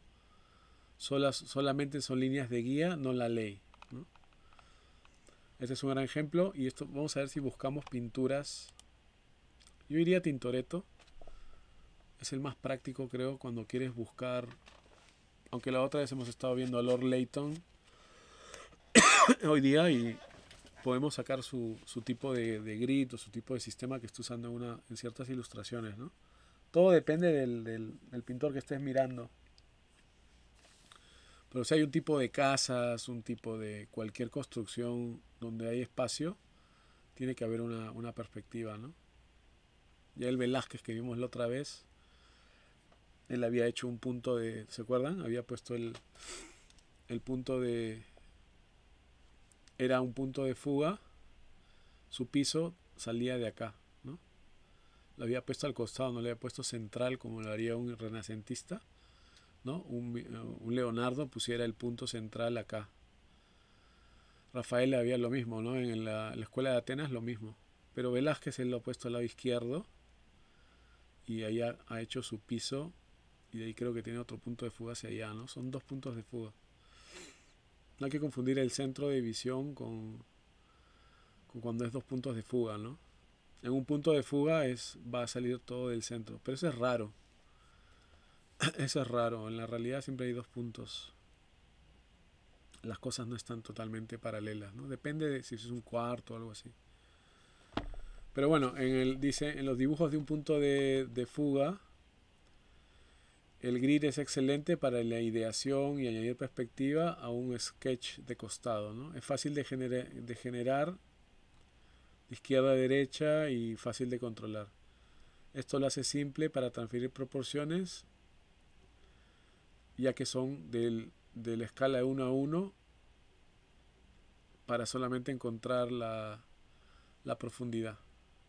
Como este es un punto de fuga, tú nada más te preocupas de dibujar alturas y, y ¿cómo se llama? Anchuras, la escala. Y de ahí todo va a la profundidad. Gracias por el like. La profundidad se, se eh, no tiene mucha Shallow es que no tiene mucha profundidad, no hay, eh, es corta y la perspectiva se, comprese, se comprime mucho, ¿no? Y se agarra rápido el horizonte. Si vemos esta para analizarla también, aunque él nos va a enseñar a dibujar que bueno, pero vamos a analizar un poco sus dibujos, ¿no? Eh, es el tema con la perspectiva, es que tienes que establecer un horizonte y todo tiene que coincidir a ello, ¿no? Ahora, en la pintura no tiene que ser exacto, pero hay que ver, o por lo menos estudiar las pinturas que a ti te interesan, ver cómo los pintores lo usan, que es diferente a la ilustración, ¿no? Está muy relacionado, pero la pintura quizás es, a veces es más estricta, depende de cuál estés mirando. Aquí tú puedes ver su horizonte, punto de fuga, y todos van a, van a coincidir ahí. ¿no? Todo va a ir ahí. Pero si te fijas aquí, si nosotros bajamos la, resolución, si yo estoy dibujando, puedo dibujar la altura. Si lo puedo poner acá. Yo puedo dibujar, como es un punto de fuga, yo me preocupo por la altura y la anchura. Entonces aquí tú ves que él está dibujando, dice, ok, la altura de ese piso, la anchura de ese rectángulo va a ser hasta acá. Y lo único que tiene que decidir, ese es el tercer punto que va o a la... Todos van a este punto de fuga, ¿ves? Y decide la profundidad. Y luego cierra. Y este de aquí tiene que ir allá también, ¿no? Todo se va a fugar ahí. Es un poco constrictivo el uno punto de fuga. Está dibujando, acá ejemplo, ¿no? Está dibujando este plano arriba. Está un poco metido. Lo sube, lo, lo dibuja ahí y todo esto de aquí tiene que irse hacia allá. Ya decide y lo cierra. Esto hacia allá, ¿no? Pone la figura humana, la pone ahí decide su altura. El, el, humano está, como dije, cerca al horizonte. Un poquito más arriba del horizonte está. Así que es más técnico, ¿no? Pero ahí está más o menos la altura. Esto le da escala el dibujo y listo, ¿no? Estoy analizando el dibujo de él.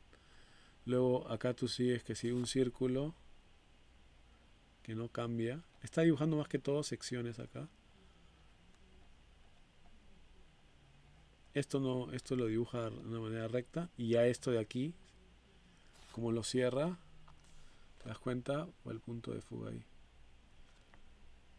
y ya pues se está creando ese espacio eh, un poco raro no pero bueno aquí tienes que crear cada uno de los pisos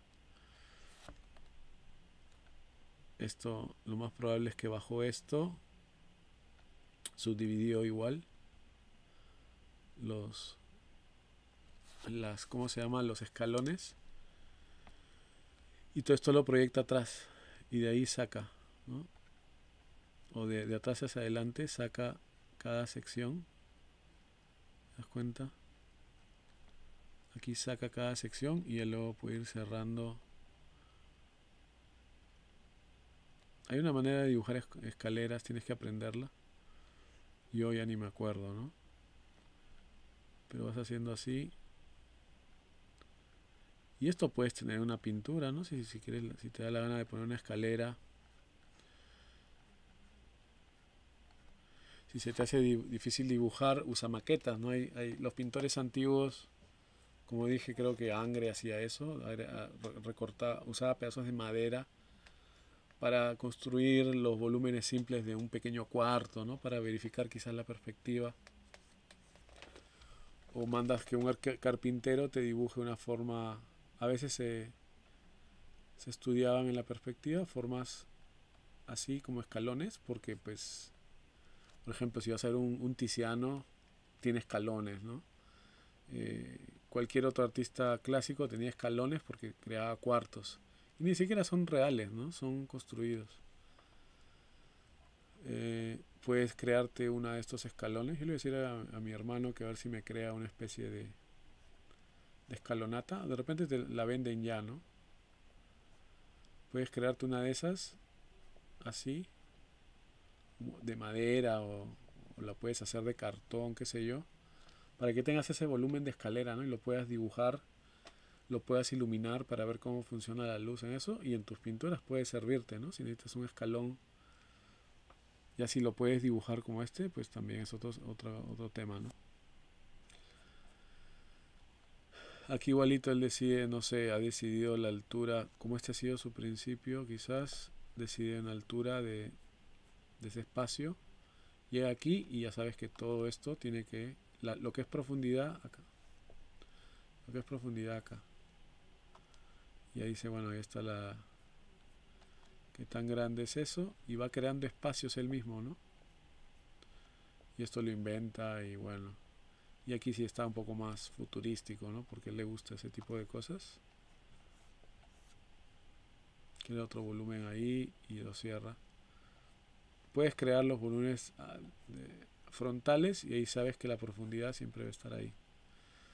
Pero esto hay que practicarlo, ¿no? Con una regla, tiras y dibuja algo, ¿no? Acá podría dibujar este, cualquier otra otra sección así, ¿no? supongamos, y tendría que la profundidad ir ahí. Que todo en este sistema está en, solo un punto de fuga. El tema con esto es que las cosas no se comportan así. En la realidad no es así tanto. Todos, todos están en la misma posición, ¿no? En la realidad tú vas a tener dentro puedes tener de un punto de fuga. Yo puedo agarrar y dibujar eh, un cubo dentro de una escena de un punto de fuga yo puedo dibujar un cubo a cualquier dirección. Cada objeto tiene su punto de fuga. Este está muy cerca, ¿no? Yo lo haría más lejos. Ahí. Ahí. Y puedo dibujar dentro de ese. Se ve un poco raro. Porque no está en el mismo ángulo, ¿no? Pero yo puedo mover. Eso compruébalo en el natural, ¿no? Agarra un pedazo de madera obsérvalo en un punto de fuga. Y lo que, lo que, el problema de acá es esto, ¿no? Si yo fuera a ver, estos objetos desde arriba, yo estoy viendo la plataforma, está así. Y sé que esto se va al punto de fuga, esta línea. Esta banca también se va al punto de fuga. Eso indica que está paralela. Todas son paralelas, se va a un punto de fuga y hay una banquita. Y este, este, este muñeco, monigote, está ahí está ahí. Sin embargo, mi cubo, que es el rebelde, ese no está en la misma posición porque no va al mismo punto de fuga, está ligeramente así. Entonces tiene que crear, eso ya lo he dicho varias veces, ¿no? Tienes que crearle su punto de fuga, es un cubo o un objeto, ¿no? Entonces agarro un cubo real, eso se ve un poco raro que se vea mucho a la parte de arriba, en realidad no pasaría eso se vería más así. No veríamos la parte de, de, abajo, lo menos que esté bien caído. Entonces tienes que darte cuenta que hay esos dos sistemas ¿no? dentro de una misma ilustración. En este caso hay, es un punto de fuga, todos los todos estos van a ser paralelos, paralelos, paralelo, paralelo. Todo esto está en la misma posición. Pero en la naturaleza usualmente no ocurre eso, ¿no? Ni la un plano no es tan perfecto todo cuadriculado, sino va, va a ocurrir, los objetos se mueven, ¿no? La mejor manera de, aprender perspectiva también es poniendo en tu mesa, cuadriculándola si quieres, ¿no? Cuadricúlala y empieza a poner objetos y estudia cómo la perspectiva se comporta, ¿no? Pon una taza, pon un pequeño cubo, pon acá eh, ¿Qué pasa si pongo una, una botella en escorzo, no? Tiene que sentarse de alguna manera aquí y se va a comprimir. Ya ni siquiera me alcanza para que sea una botella, pero se va a comprimir tanto. ¿no? Esa es la más larga quizás. Porque tengo que estar dibujando secciones y se vería así una botella en escorzo, ¿no? pero todo tiene que responder al, a lo que estás dibujando en esa escena. ¿no? Eh, intenta esa cosa de comprobarlo conforme vas avanzando con la perspectiva. un tazón, sabes que cuando está alejado del horizonte es más abierto, cuando está cerca acá, en esta sección, si el tazón terminaría aquí, se vería recto. ¿no? Entonces tienes que ir entendiendo esas leyes en un punto de fuga, fuga es lo más básico, lo mejor. Y en dos se empieza a complicar porque bueno, tienes que ir a dos lados, ¿no?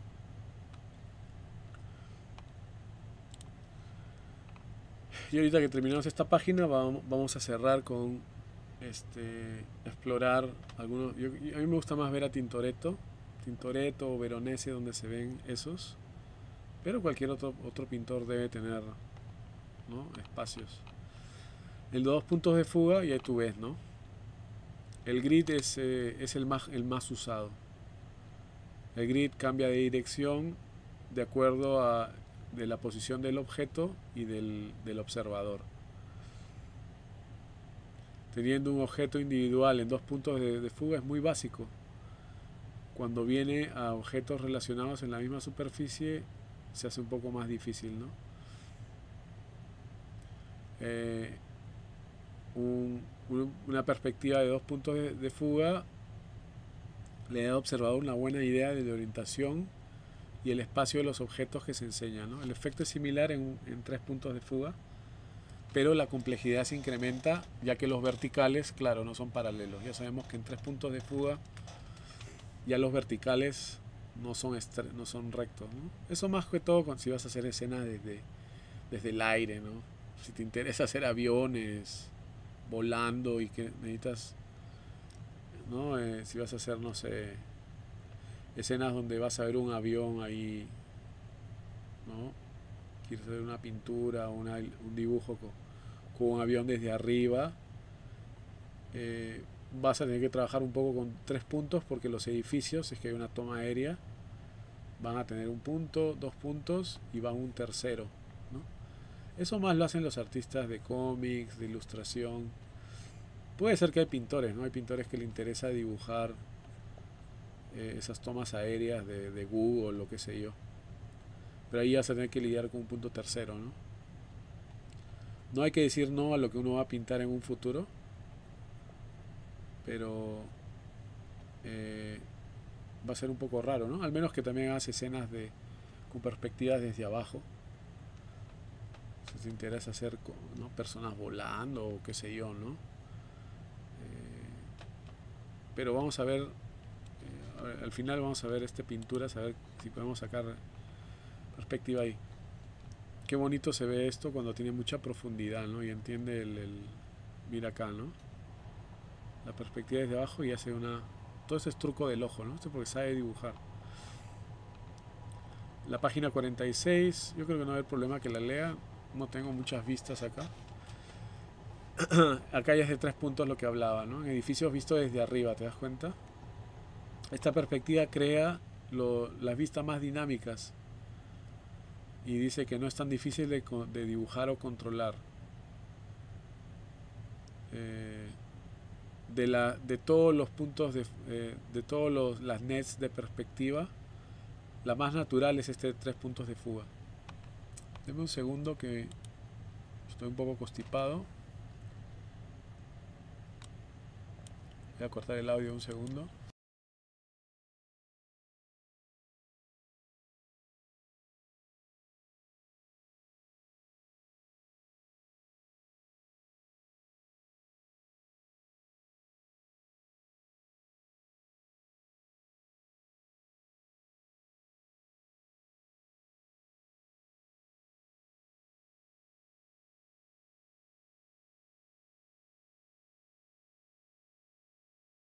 Vimos, este, dice que se ve más natural, ¿no? Eh, esta perspectiva es, se usa mucho en los juegos de, computadora, ¿no? Y SketchUp también la usa. SketchUp es el programita que vamos a ver de repente en el otro video. Vamos a, visitarlo. Yo, yo creo que lo tenía acá, pero ahora no sé si te lo cobran. Antes era gratis. Es un programa de 3D que es fácil de usar donde puedes crear volúmenes, arquitecturas, lo que quieras, y los puedes usar como una base de tu dibujo, ¿no? dependiendo de cómo hagas esto. Es recomendable, dice, estimar la convergencia de verticales. O sea, esto van a converger, ¿no? Como estaba diciendo, en tres puntos tienen que ir hacia abajo. En un programa de 3D para crear, perdón, eh, estimarlos o usar un programa de, de 3D para crear ese grid, ¿no? Eh, hacerlo a mano va a tomar bastante tiempo comparado si lo generas en una computadora. Eh, es un reto eh, usar tres puntos de, de, fuga y se ve un poco raro con el horizonte que está ahí, ¿no? En la página 62, bueno, ¿no? Para poner un tres puntos de fuga es mejor usar un horizonte fuera de la página o, muy arriba o muy abajo. Fíjate acá que el horizonte pareciera que estaría acá, ¿no? Acá no se nota porque está muy elevado. ¿No? Tú tienes que pensar cuando ya usas tres puntos de fuga. Y bueno, es bueno mencionarlo, ¿no? Porque en la historia del arte, no sé si se ha usado, creo los barrocos puede ser. Pero aquí ya estás teniendo Si este es tu horizonte, usualmente vas a tener esos edificios hacia abajo, como se dice, ¿no? Un cubo hacia abajo, un volumen visto desde acá. Estos de aquí tienen que converger. Ese es el tema con tres puntos, ¿no? es más, más, compleja. Si lo haces desde arriba, va a ser, suceder lo mismo. Estos puntos tienen que converger arriba. Y es por eso que se ve un volumen desde arriba, ¿no? Y ya se empieza a complicar. Puedes también robar puntos de fuga de una fotografía, por ejemplo. Podemos agarrar una escena de una, quizás una película que te guste, que tiene esa, esa una cámara desde abajo y puedes capturar esa imagen, estudiar el grid que tiene y de ahí hacer tu dibujo propio usando el, y el sistema preestablecido, ¿no? Esa es una manera, se me ocurre. Ya que dice, habla sobre cinco puntos de fuga o perspective 5 de puntos. Acá hay un ejemplo, en una fotografía, mira cómo se empieza a distorsionar. Y dice, cinco puntos se puede usar cuando ves en, el ojo de pez en la fotografía. Con un lente muy distorsionado y hay cinco puntos. Este grid te, te deja dibujar hacia arriba y hacia abajo del horizonte con líneas convergentes verticales. Esto creo que se, se, empiezan a curvar, es muy complejo, 5 de puntos. Creo que hay libros que te enseñan, no sé si este libro te va a enseñar. Eh, hay artistas que están jugando con eso. Kim Jong-ji creo que usa 5 puntos. Yo ni me metería, ¿no? no me interesa este tipo de... Es demasiado distorsionado, ¿no? Pero bueno, hay gente que le gusta. Es válido en todo en el arte es un grid difícil de generar por, la, eh, por mano y es recomendado dibujar sobre fotografías, ¿ves? Que usan un grid. Por ejemplo, este lo vas a usar y estarías... Eh, podemos hacerlo, ¿no? De una manera. Si usamos esa fotografía y lo mismo vamos a hacer, hagamos, busquemos una, una escena de una... De una ups, esto no lo llevo a copiar una escena de una película o cualquier otra escena de una foto. Entonces ya la foto no, no necesariamente tampoco tienes que la tienes que usar como un, como un elemento de copia, pero también como un elemento de, de generar... Eh, ¿Por qué no me, me copia eso? Déjame hacerlo de nuevo. Print screen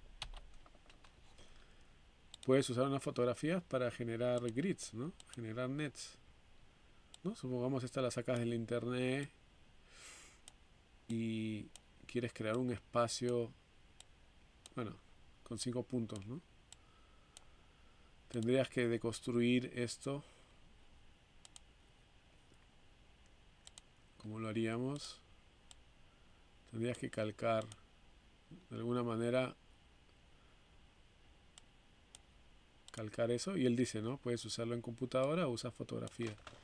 Entonces, esto tendrías que calcar las líneas principales, ¿no? Recuerda que va a haber un punto de fuga de todas maneras. Los verticales creo que no se mantienen. No sé cómo sería esto. Mira cómo se distorsiona la mujer, ¿no? Pero acá quizás hay un horizonte. No estoy seguro cómo funciona. Tres, cinco puntos. Pero esto convergen ahí, no son rectas. Empiezan a ser, si te fijas, estas líneas, lo empiezas a conectar, son como curvas, ¿no? Esto se empieza a curvar. Porque estas tienen que conectarse, ¿no? Entonces un grid de cinco puntos, mira cómo están las líneas, ¿no? En una perspectiva normal se verían, esto se como que se irradia, ¿no?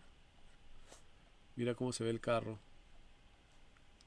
Entonces tú vas creando un grid, mira aquí. Y eh, mira esta de acá, también se curva. Ese es, lo, ese es el tema con cinco puntos.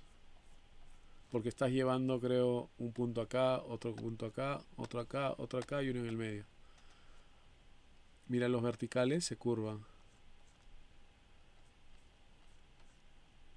Sería interesante como obra crear algo así, pero a mí no, realmente no me interesa, ¿no? Pero hay pintores, dibujantes que lo hacen.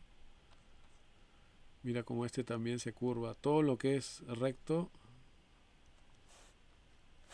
si fueses a hacer un cubo, esto estaría así. Y aquí medio que se... No sé si se distorsiona, porque sí, se distorsiona. Esta es una línea recta en la realidad y se vuelve curva. ¿Te das cuenta?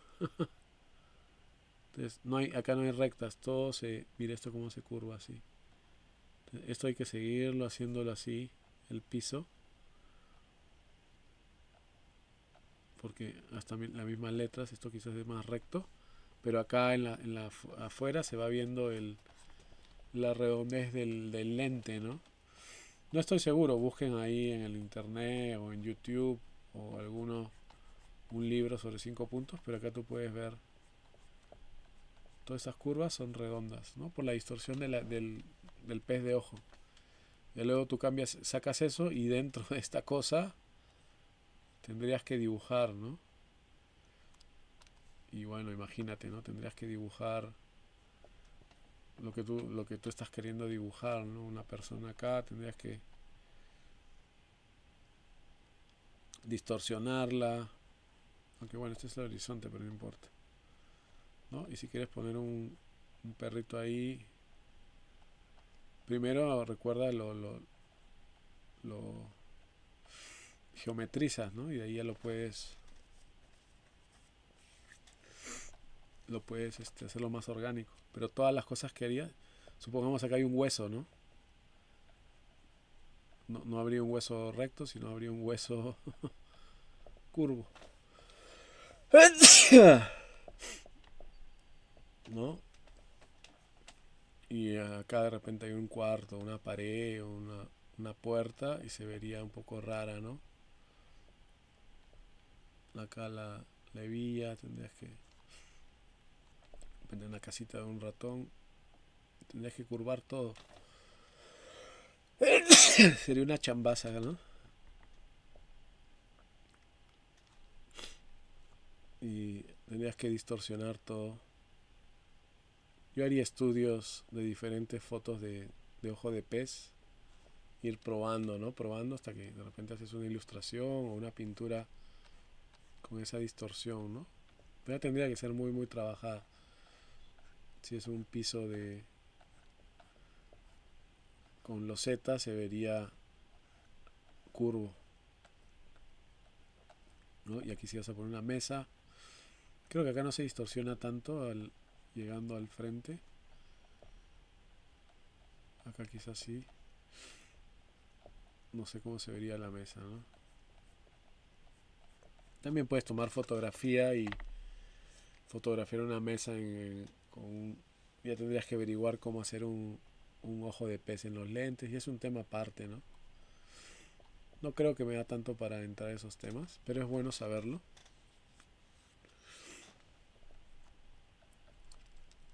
Entonces tendrías que dibujar algo así, pero estás usando una base de fotografía, ¿no?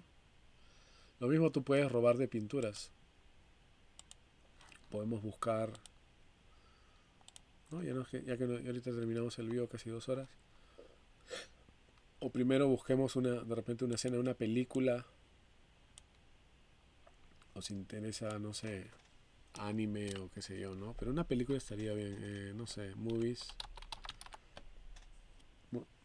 Tú puedes buscar movie still, que son este capturas, y te salen a veces escenas de película. Por ejemplo, esta de acá está interesante del Joker. ¿no? Y bueno, quieres crear una pintura inspirada en... Aunque esa se ve bien compleja, ¿no?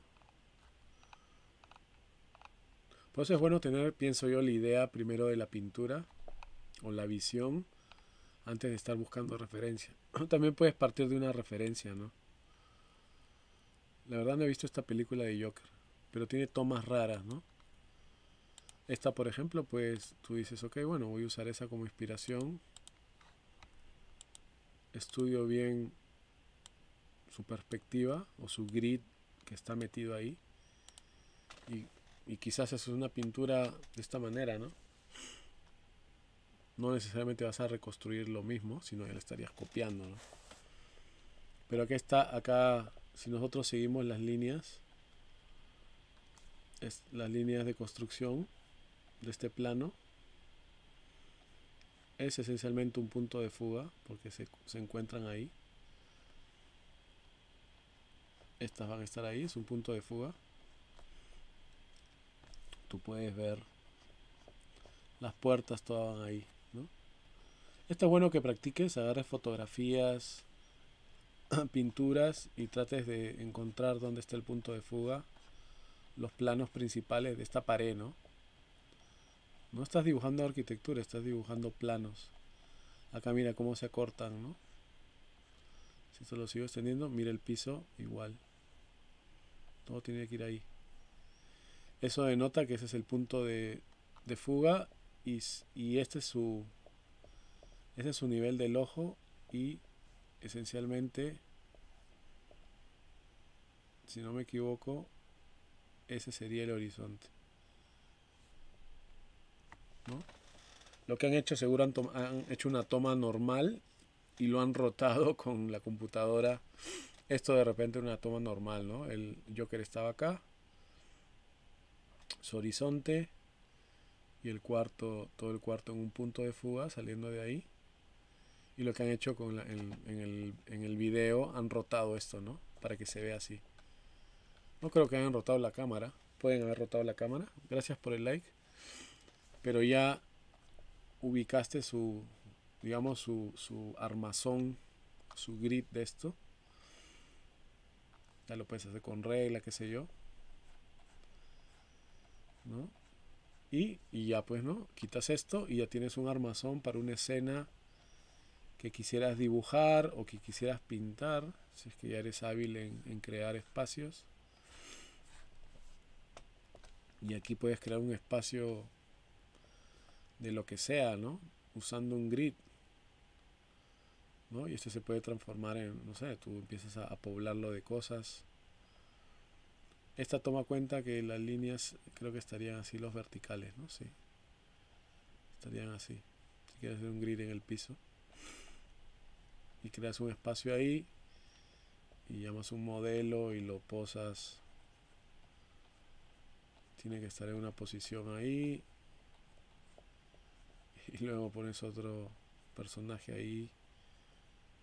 ¿no? Y juegas con, con una perspectiva que tú has robado del, del Escena, ¿no? Porque eso es lo difícil de la perspectiva, crear espacios, crear profundidad, ¿no?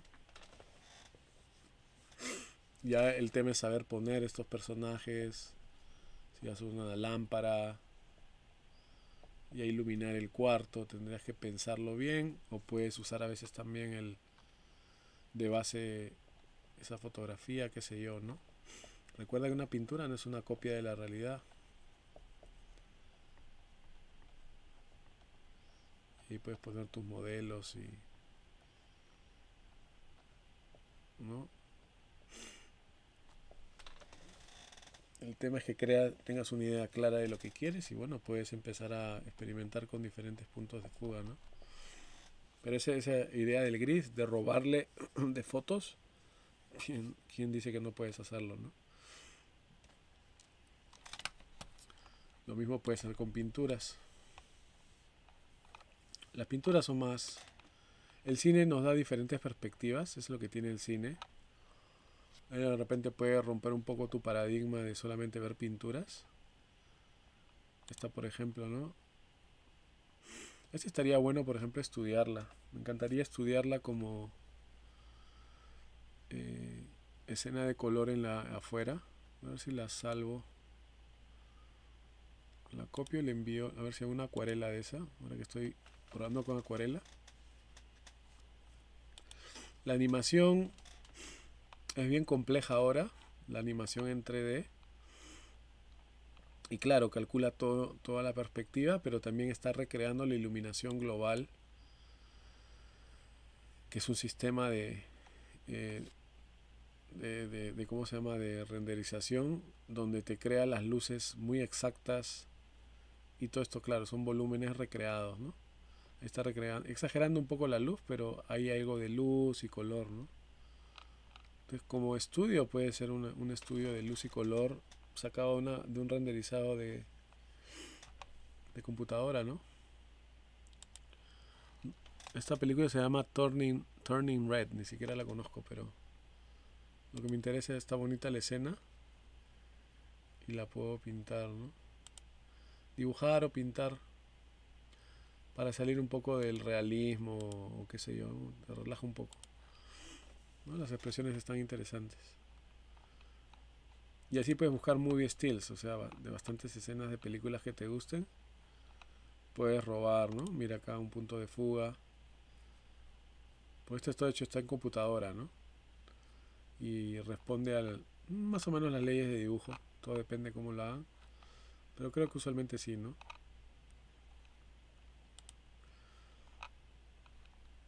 Entonces no hay límite para la inspiración en cuanto a, crear pinturas o, ilustraciones quizás. En las películas tienen buenas iluminaciones, tiene buen color. También puedes robar esas perspectivas o esos grids. De repente especialmente en escenas que serían muy difíciles de visualizar, ¿no? Eh, pero es, eh, también es otro lenguaje diferente. Esta, por ejemplo, me, me, late que la quiero estudiar también, como una composición de luz y sombra.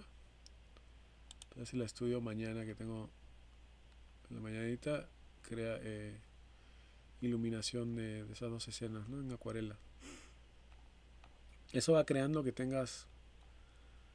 Mira esta Cinderela, ¿no? Es una buena. todo esto, estos edificios, ¿no? Sería muy difícil que un pintor reconstruya todo esto puedes robarle ahí la, arquitectura o se gastan millones de millones en esas cosas. Si comparamos con, no sé, pues una pintura de Tintoretto, ¿no? Si quieres decir más antiguo, más clásico, Tintoretto Painting, que tenía que reconstruir justamente lo que estamos hablando de esta, un escalón, ¿no? Agarramos una de sus, él tiene varias pinturas pero él trata de crear ciertas escenas, ¿no?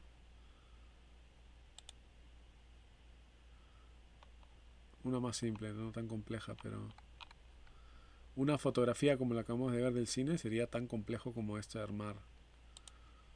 Pero una cosa es un dibujo, una, otra cosa es una, una realidad, ¿no? Acá hay muy simple, bueno, no simple, pero podemos analizar la perspectiva que él ha usado, ¿no? Porque es una recreación esta la sacamos de una foto. Listo. Puedes hacer con la pintura. Puedes analizarla. Si ya vas entendiendo perspectiva. Puedes robársela, ¿no? La copias o la, la inviertes. Qué sé yo, ¿no? Es cuestión de... Si uno sabe perspectiva puede empezar a hacer esas cosas. Tampoco es tan difícil, ¿no? Dedícale el tiempo. Entonces acá, aunque aquí está distorsionado esta, esta, este entre... No sé por qué hacen esas cosas con las pinturas. No es que las imprimen. La verdad, la, todas las bastardizan, ¿no? La conversión de María Magdalena, vamos a ver. Conversion. Ya que ahora son Conversion of Mary Magdalene. Y ve pues no diferentes pintores eh, cómo ellos van creando espacios no todo depende de lo que estés buscando. Tintoretto tiene eso crea espacios muy imaginativos. Acá hay un jardín y acá hay una, una entrada ¿no? una mesa. Podría haber usado maquetas también para ayudarse pero creo que todo lo hace de, por, por el dibujo, ¿no? Agarremos esta de acá y te vas a ir dando cuenta que no es tan complicada como parece, ¿no? con el conocimiento que vamos adquiriendo de un libro de perspectiva o cualquier otro libro,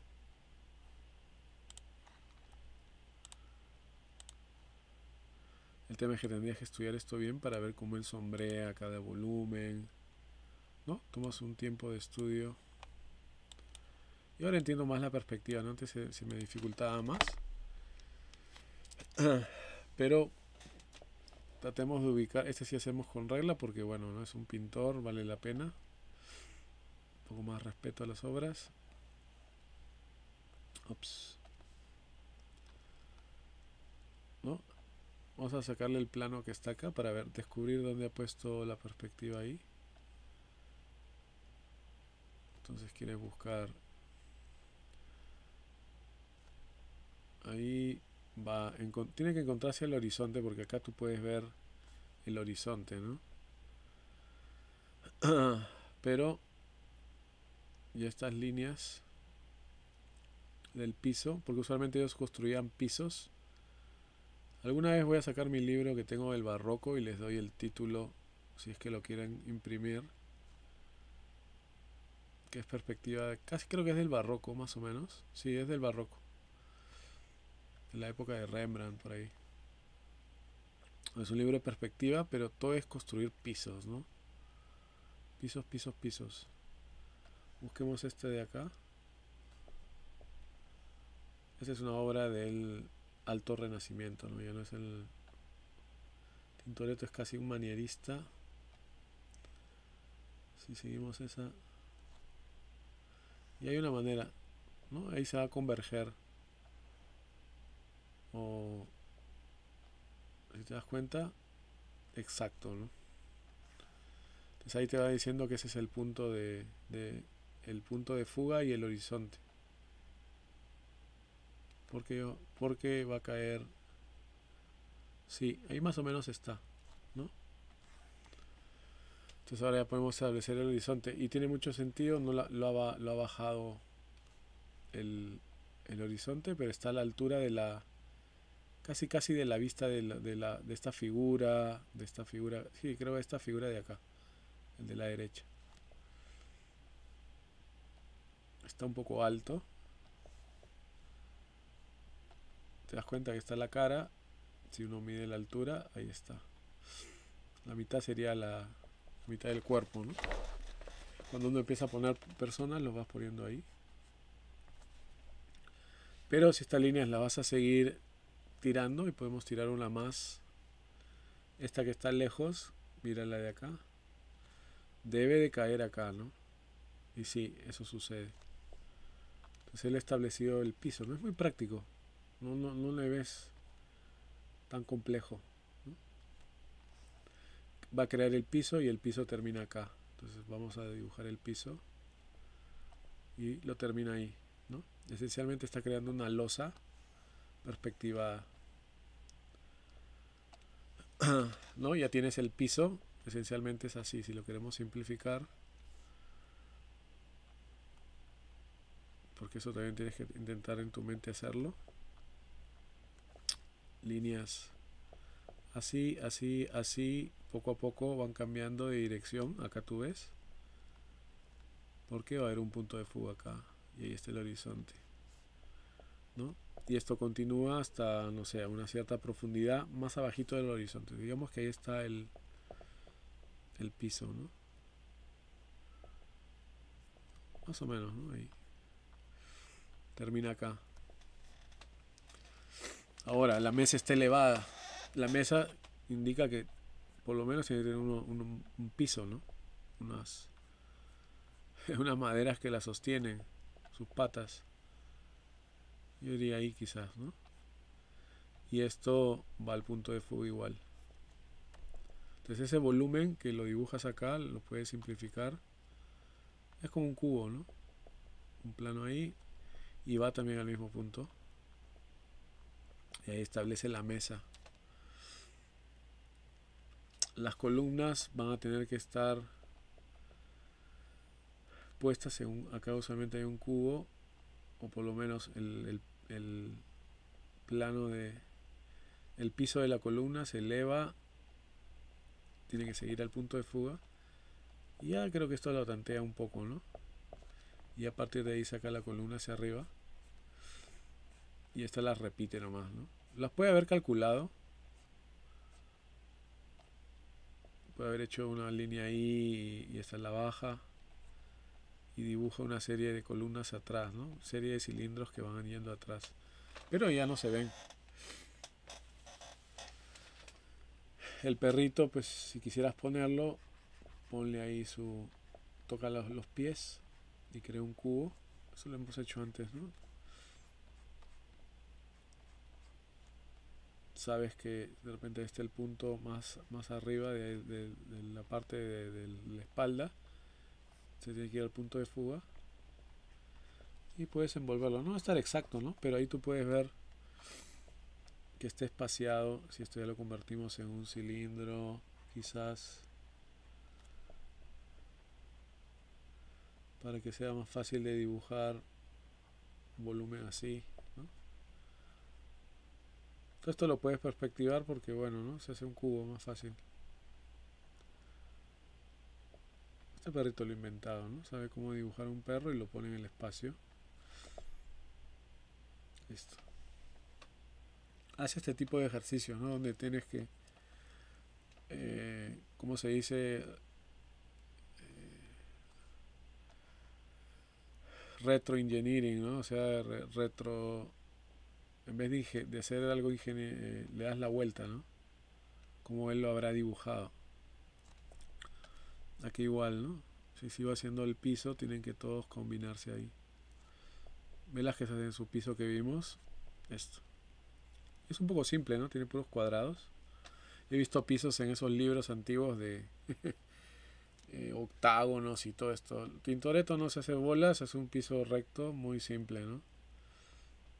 crece volumen del cubo necesitamos esto crece volumen del cubo aquí ya podemos dibujar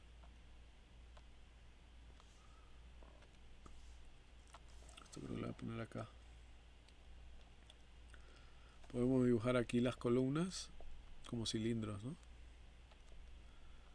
Tiene que, de repente empiezas por un cuadrado como dije sacas el cilindro y lo, lo subes estás haciendo lo que haría una, una un programa 3D lo mismo. Aquí se desaparecen porque el marco está ahí. El perrito igual. Tienes que decidir qué tamaño tiene. Perdón. Para ponerlo en el espacio que se conforme al punto de fuga. Y te das cuenta que este, si fuéramos a seguir un, un segundo punto, se iría por allá, ¿no? Porque está en ángulo. En cambio, las líneas del piso sí están totalmente horizontales. Lo mismo que esta.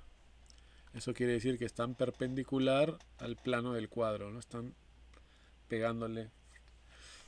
Eh, si el cuadro está así desde arriba, la mesa está así totalmente, ¿no? El piso está así de nuevo, ¿no?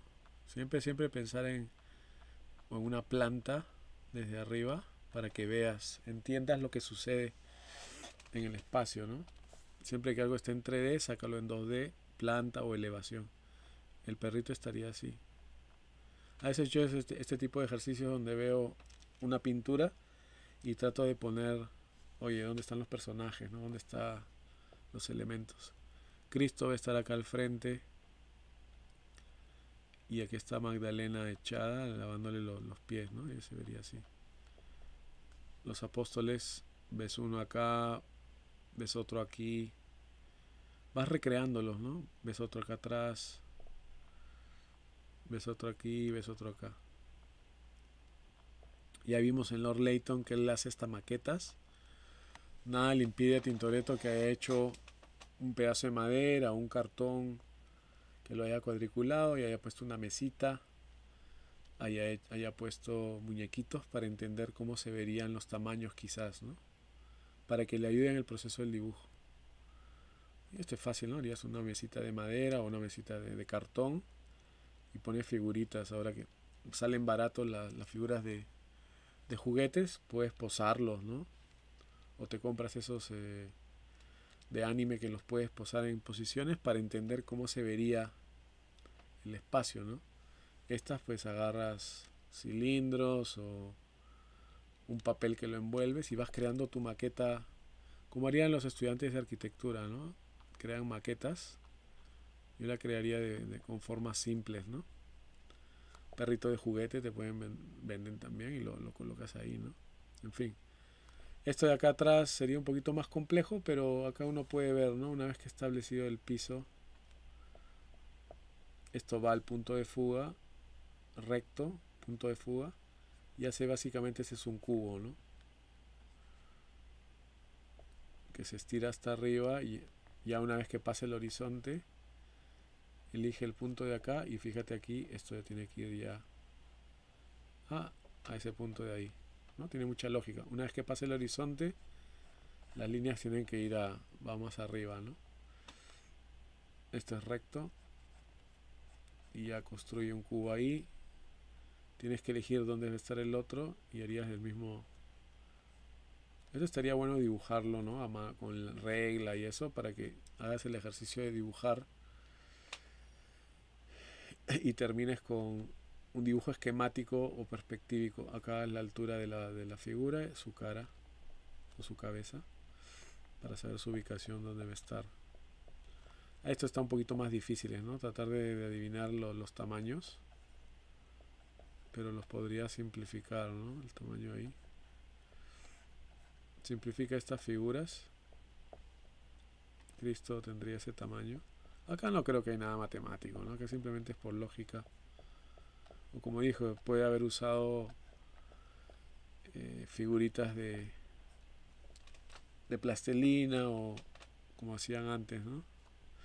De cera para ir poniendo figuras y ver cómo se escorzan o cambian en tamaño, ¿no? Esto tienes que pensar que está sentado en algo. Podrías dibujar una, un volumen ahí donde se, se sienta, ¿no? Tienes que ir recreando el espacio ahí entonces ya una vez que yo quito la, pintura, ya tengo quizás un esquema de un espacio, ¿no? Un ejercicio de más o menos entendido.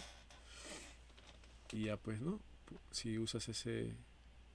Nadie dice que le copies a Tintoretto, pero puedes usar una estrategia similar, el mismo punto de fuga. Eh, tu ejercicio de repente es otro. Gracias por el like, ¿no? Tu ejercicio es otro de repente, ¿no? acá me, eh, no sé, vas a poner, de repente la mesa la quieres poner acá.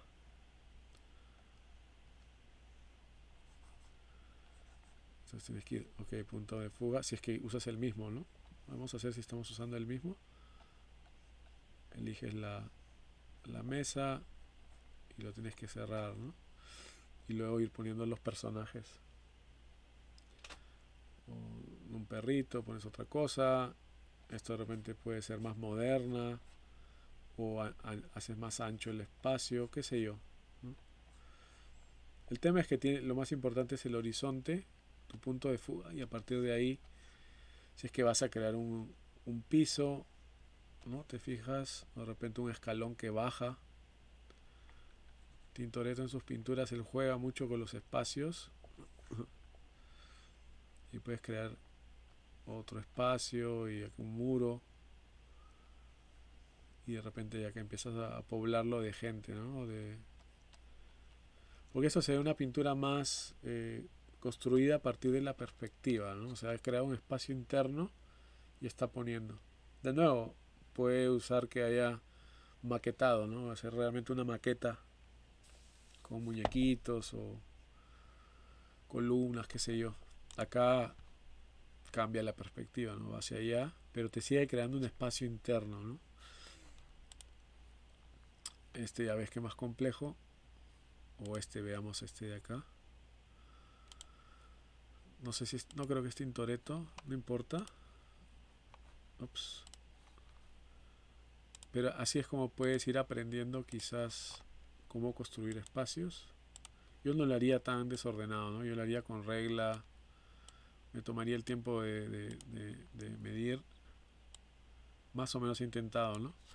Pero aquí está, está muy, o sea, se nota, ¿no?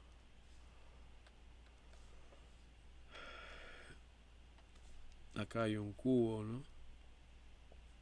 Ya esto me da la dirección que el punto de fuego va a estar allá, de una, ¿no? Los renacentistas maneristas son no se complican la vida, es más, esta arquitectura es muy geométrica, ¿no? Ni siquiera es, tiene muchos adornos. El piso me va a ir llegando y si esto los intersecto, de alguna manera me voy a encontrar el punto de fuga por ahí, ¿no? Ya tengo que usar una regla. Pero tú puedes ver que todos van a ir, al menos las, como vimos en el diagrama de Scott Robertson, todas las profundidades van a ir a un punto de fuga. Acá hay un cubo. Acá ya notas que se ve desde arriba, entonces el horizonte tiene que estar por acá. Quizás a la altura de Jesús, ¿no? Tiene mucha lógica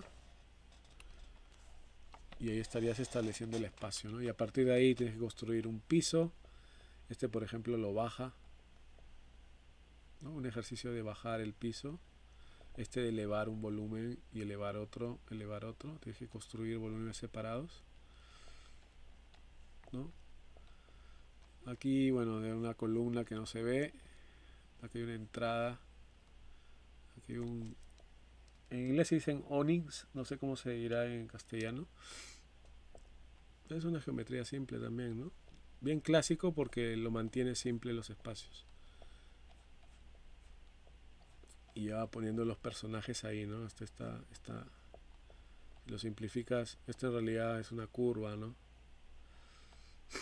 Perdón. Una especie de curva donde se van a sentar. Mira acá, ¿no? Para mí que ha también usado figuritas quizás, no, lo sé, ¿no? Sea un poco artificial. Pero el tema también no solamente es dibujar esto, el tema es sombrearlo, ¿no? Empezar a decidir dónde le pega la luz, la sombra, que usualmente va a ser un patrón. Por eso que digo, de repente he usado maquetas también, ¿no? Porque si tienes una maqueta lo puedes realmente estudiar de natural. Si no vas a tener que imaginarlo y se va haciendo más dificultoso, ¿no? Pero en la época renacentista hacían maquetas de madera. Tranquilamente un, un pintor, un esto, podía hacer una maquetita donde ponía figuras y estudiaba, ¿no? Pero en fin, es cuestión de que vayas viendo diferentes pinturas o el pintor que te atraiga de ver cómo lo usa perspectiva, porque hay todo tipo de pintores, ¿no? Estos son más antiguos. ¿no? Si vas a un Rubens, él comprime el espacio, pero también te está creando este, una escena, ¿no? El piso no se nota mucho como un renacentista, porque los barrocos comprimen el espacio, como digo, pero se van a ver columnas, ¿no? Una mesa que seguro está en, perspectiva por ahí. Esto también seguro mm, tendrías que analizarlo, ¿no? De los pintores que a ti te gustan es lo que tú quieres analizar. Acaba creando varios espacios, ¿no? Esto no sé si es, bueno, Sebastiano Ricci, que es de la época ya rococó. O si ya buscas un neoclásico va a ser hasta más complejo en su uso de los espacios. Ellos usaban maquetas también. Tintoretto no sé, pero yo supongo que sí. Veronese si está creando esto es más complejo, ¿no? Eh, pero en fin, es cuestión de que veas el tipo de, pintura que te gusta o ciertos autores para ver viendo cómo él va creando, si es que hay una, una especie de, cuarto o lugar interior, ¿no? Pero en fin, es un tema que puedes ir estudiando. Ya estamos en dos horas y media. Yo creo que voy cerrando un poco. Página 46. Sí, porque ya nos quedamos acá en la 47. Donde ya vamos a aprender a construir un grid, ¿no? una net. Voy a apuntarla, página 47. Voy a seguir eh, en esta semana, vamos a ver perspectiva. Y lo vamos a retornar a la geometría. Pero hay que avanzar con esto, ¿no? Estamos en la página 47, es 50, estamos a un cuarto, ¿no? 5 por 4, 4, nos falta 3 más, ¿no? 3 cuartos del libro. Pero acá hay, acá está usando el punto de estación, un Q, empiezas a empezar por un cuadrado y eso es lo que se va a multiplicar con una, una net, ¿no? él esté manteniendo el, punto de, el, cono de visión Acá ya entra un poco en geometría de... Esta es la que les digo de, que mantener un 90 grados para crear un, cuadrado. Esta es, va a ser una net un poco más compleja, ¿no? Habría que leer esto, pero bueno, ahí nos va a enseñar un poco a crear estas cosas. Diferentes tipos de grids. Ese sería el tema cuarto, ¿no? Este transferir escalas. Eso de agarrar una persona y saber escalar, que ya lo estoy haciendo de alguna manera en, las pinturas. Este es esencial, ¿no? Fíjate acá, lo que hace, similar a lo que hace Tintoretto, ¿no? Tintoretto va a crear un espacio donde crea un volumen crea un espacio bajito, pequeñito, y ahí puedes empezar a escalar y poner personas. Tema muy importante. Pero en fin, vamos a ir poco a poco porque este es, no es tan fácil, pero te voy a ir armando de, herramientas para ya en un futuro si quieres crear, ¿no? Pero en fin, espero les haya llevado el vivo, un poco tedioso, la perspectiva no es fácil. Eh, y nos vemos después, ¿no? Gracias por el like y sigan estudiando, sigan avanzando. No se olviden de suscribirse y compartir el video. Eso me ayuda bastante, ¿no? Muchas gracias y nos vemos en quizá mañana, ¿no? En la parte 8 donde empecemos a construir un poco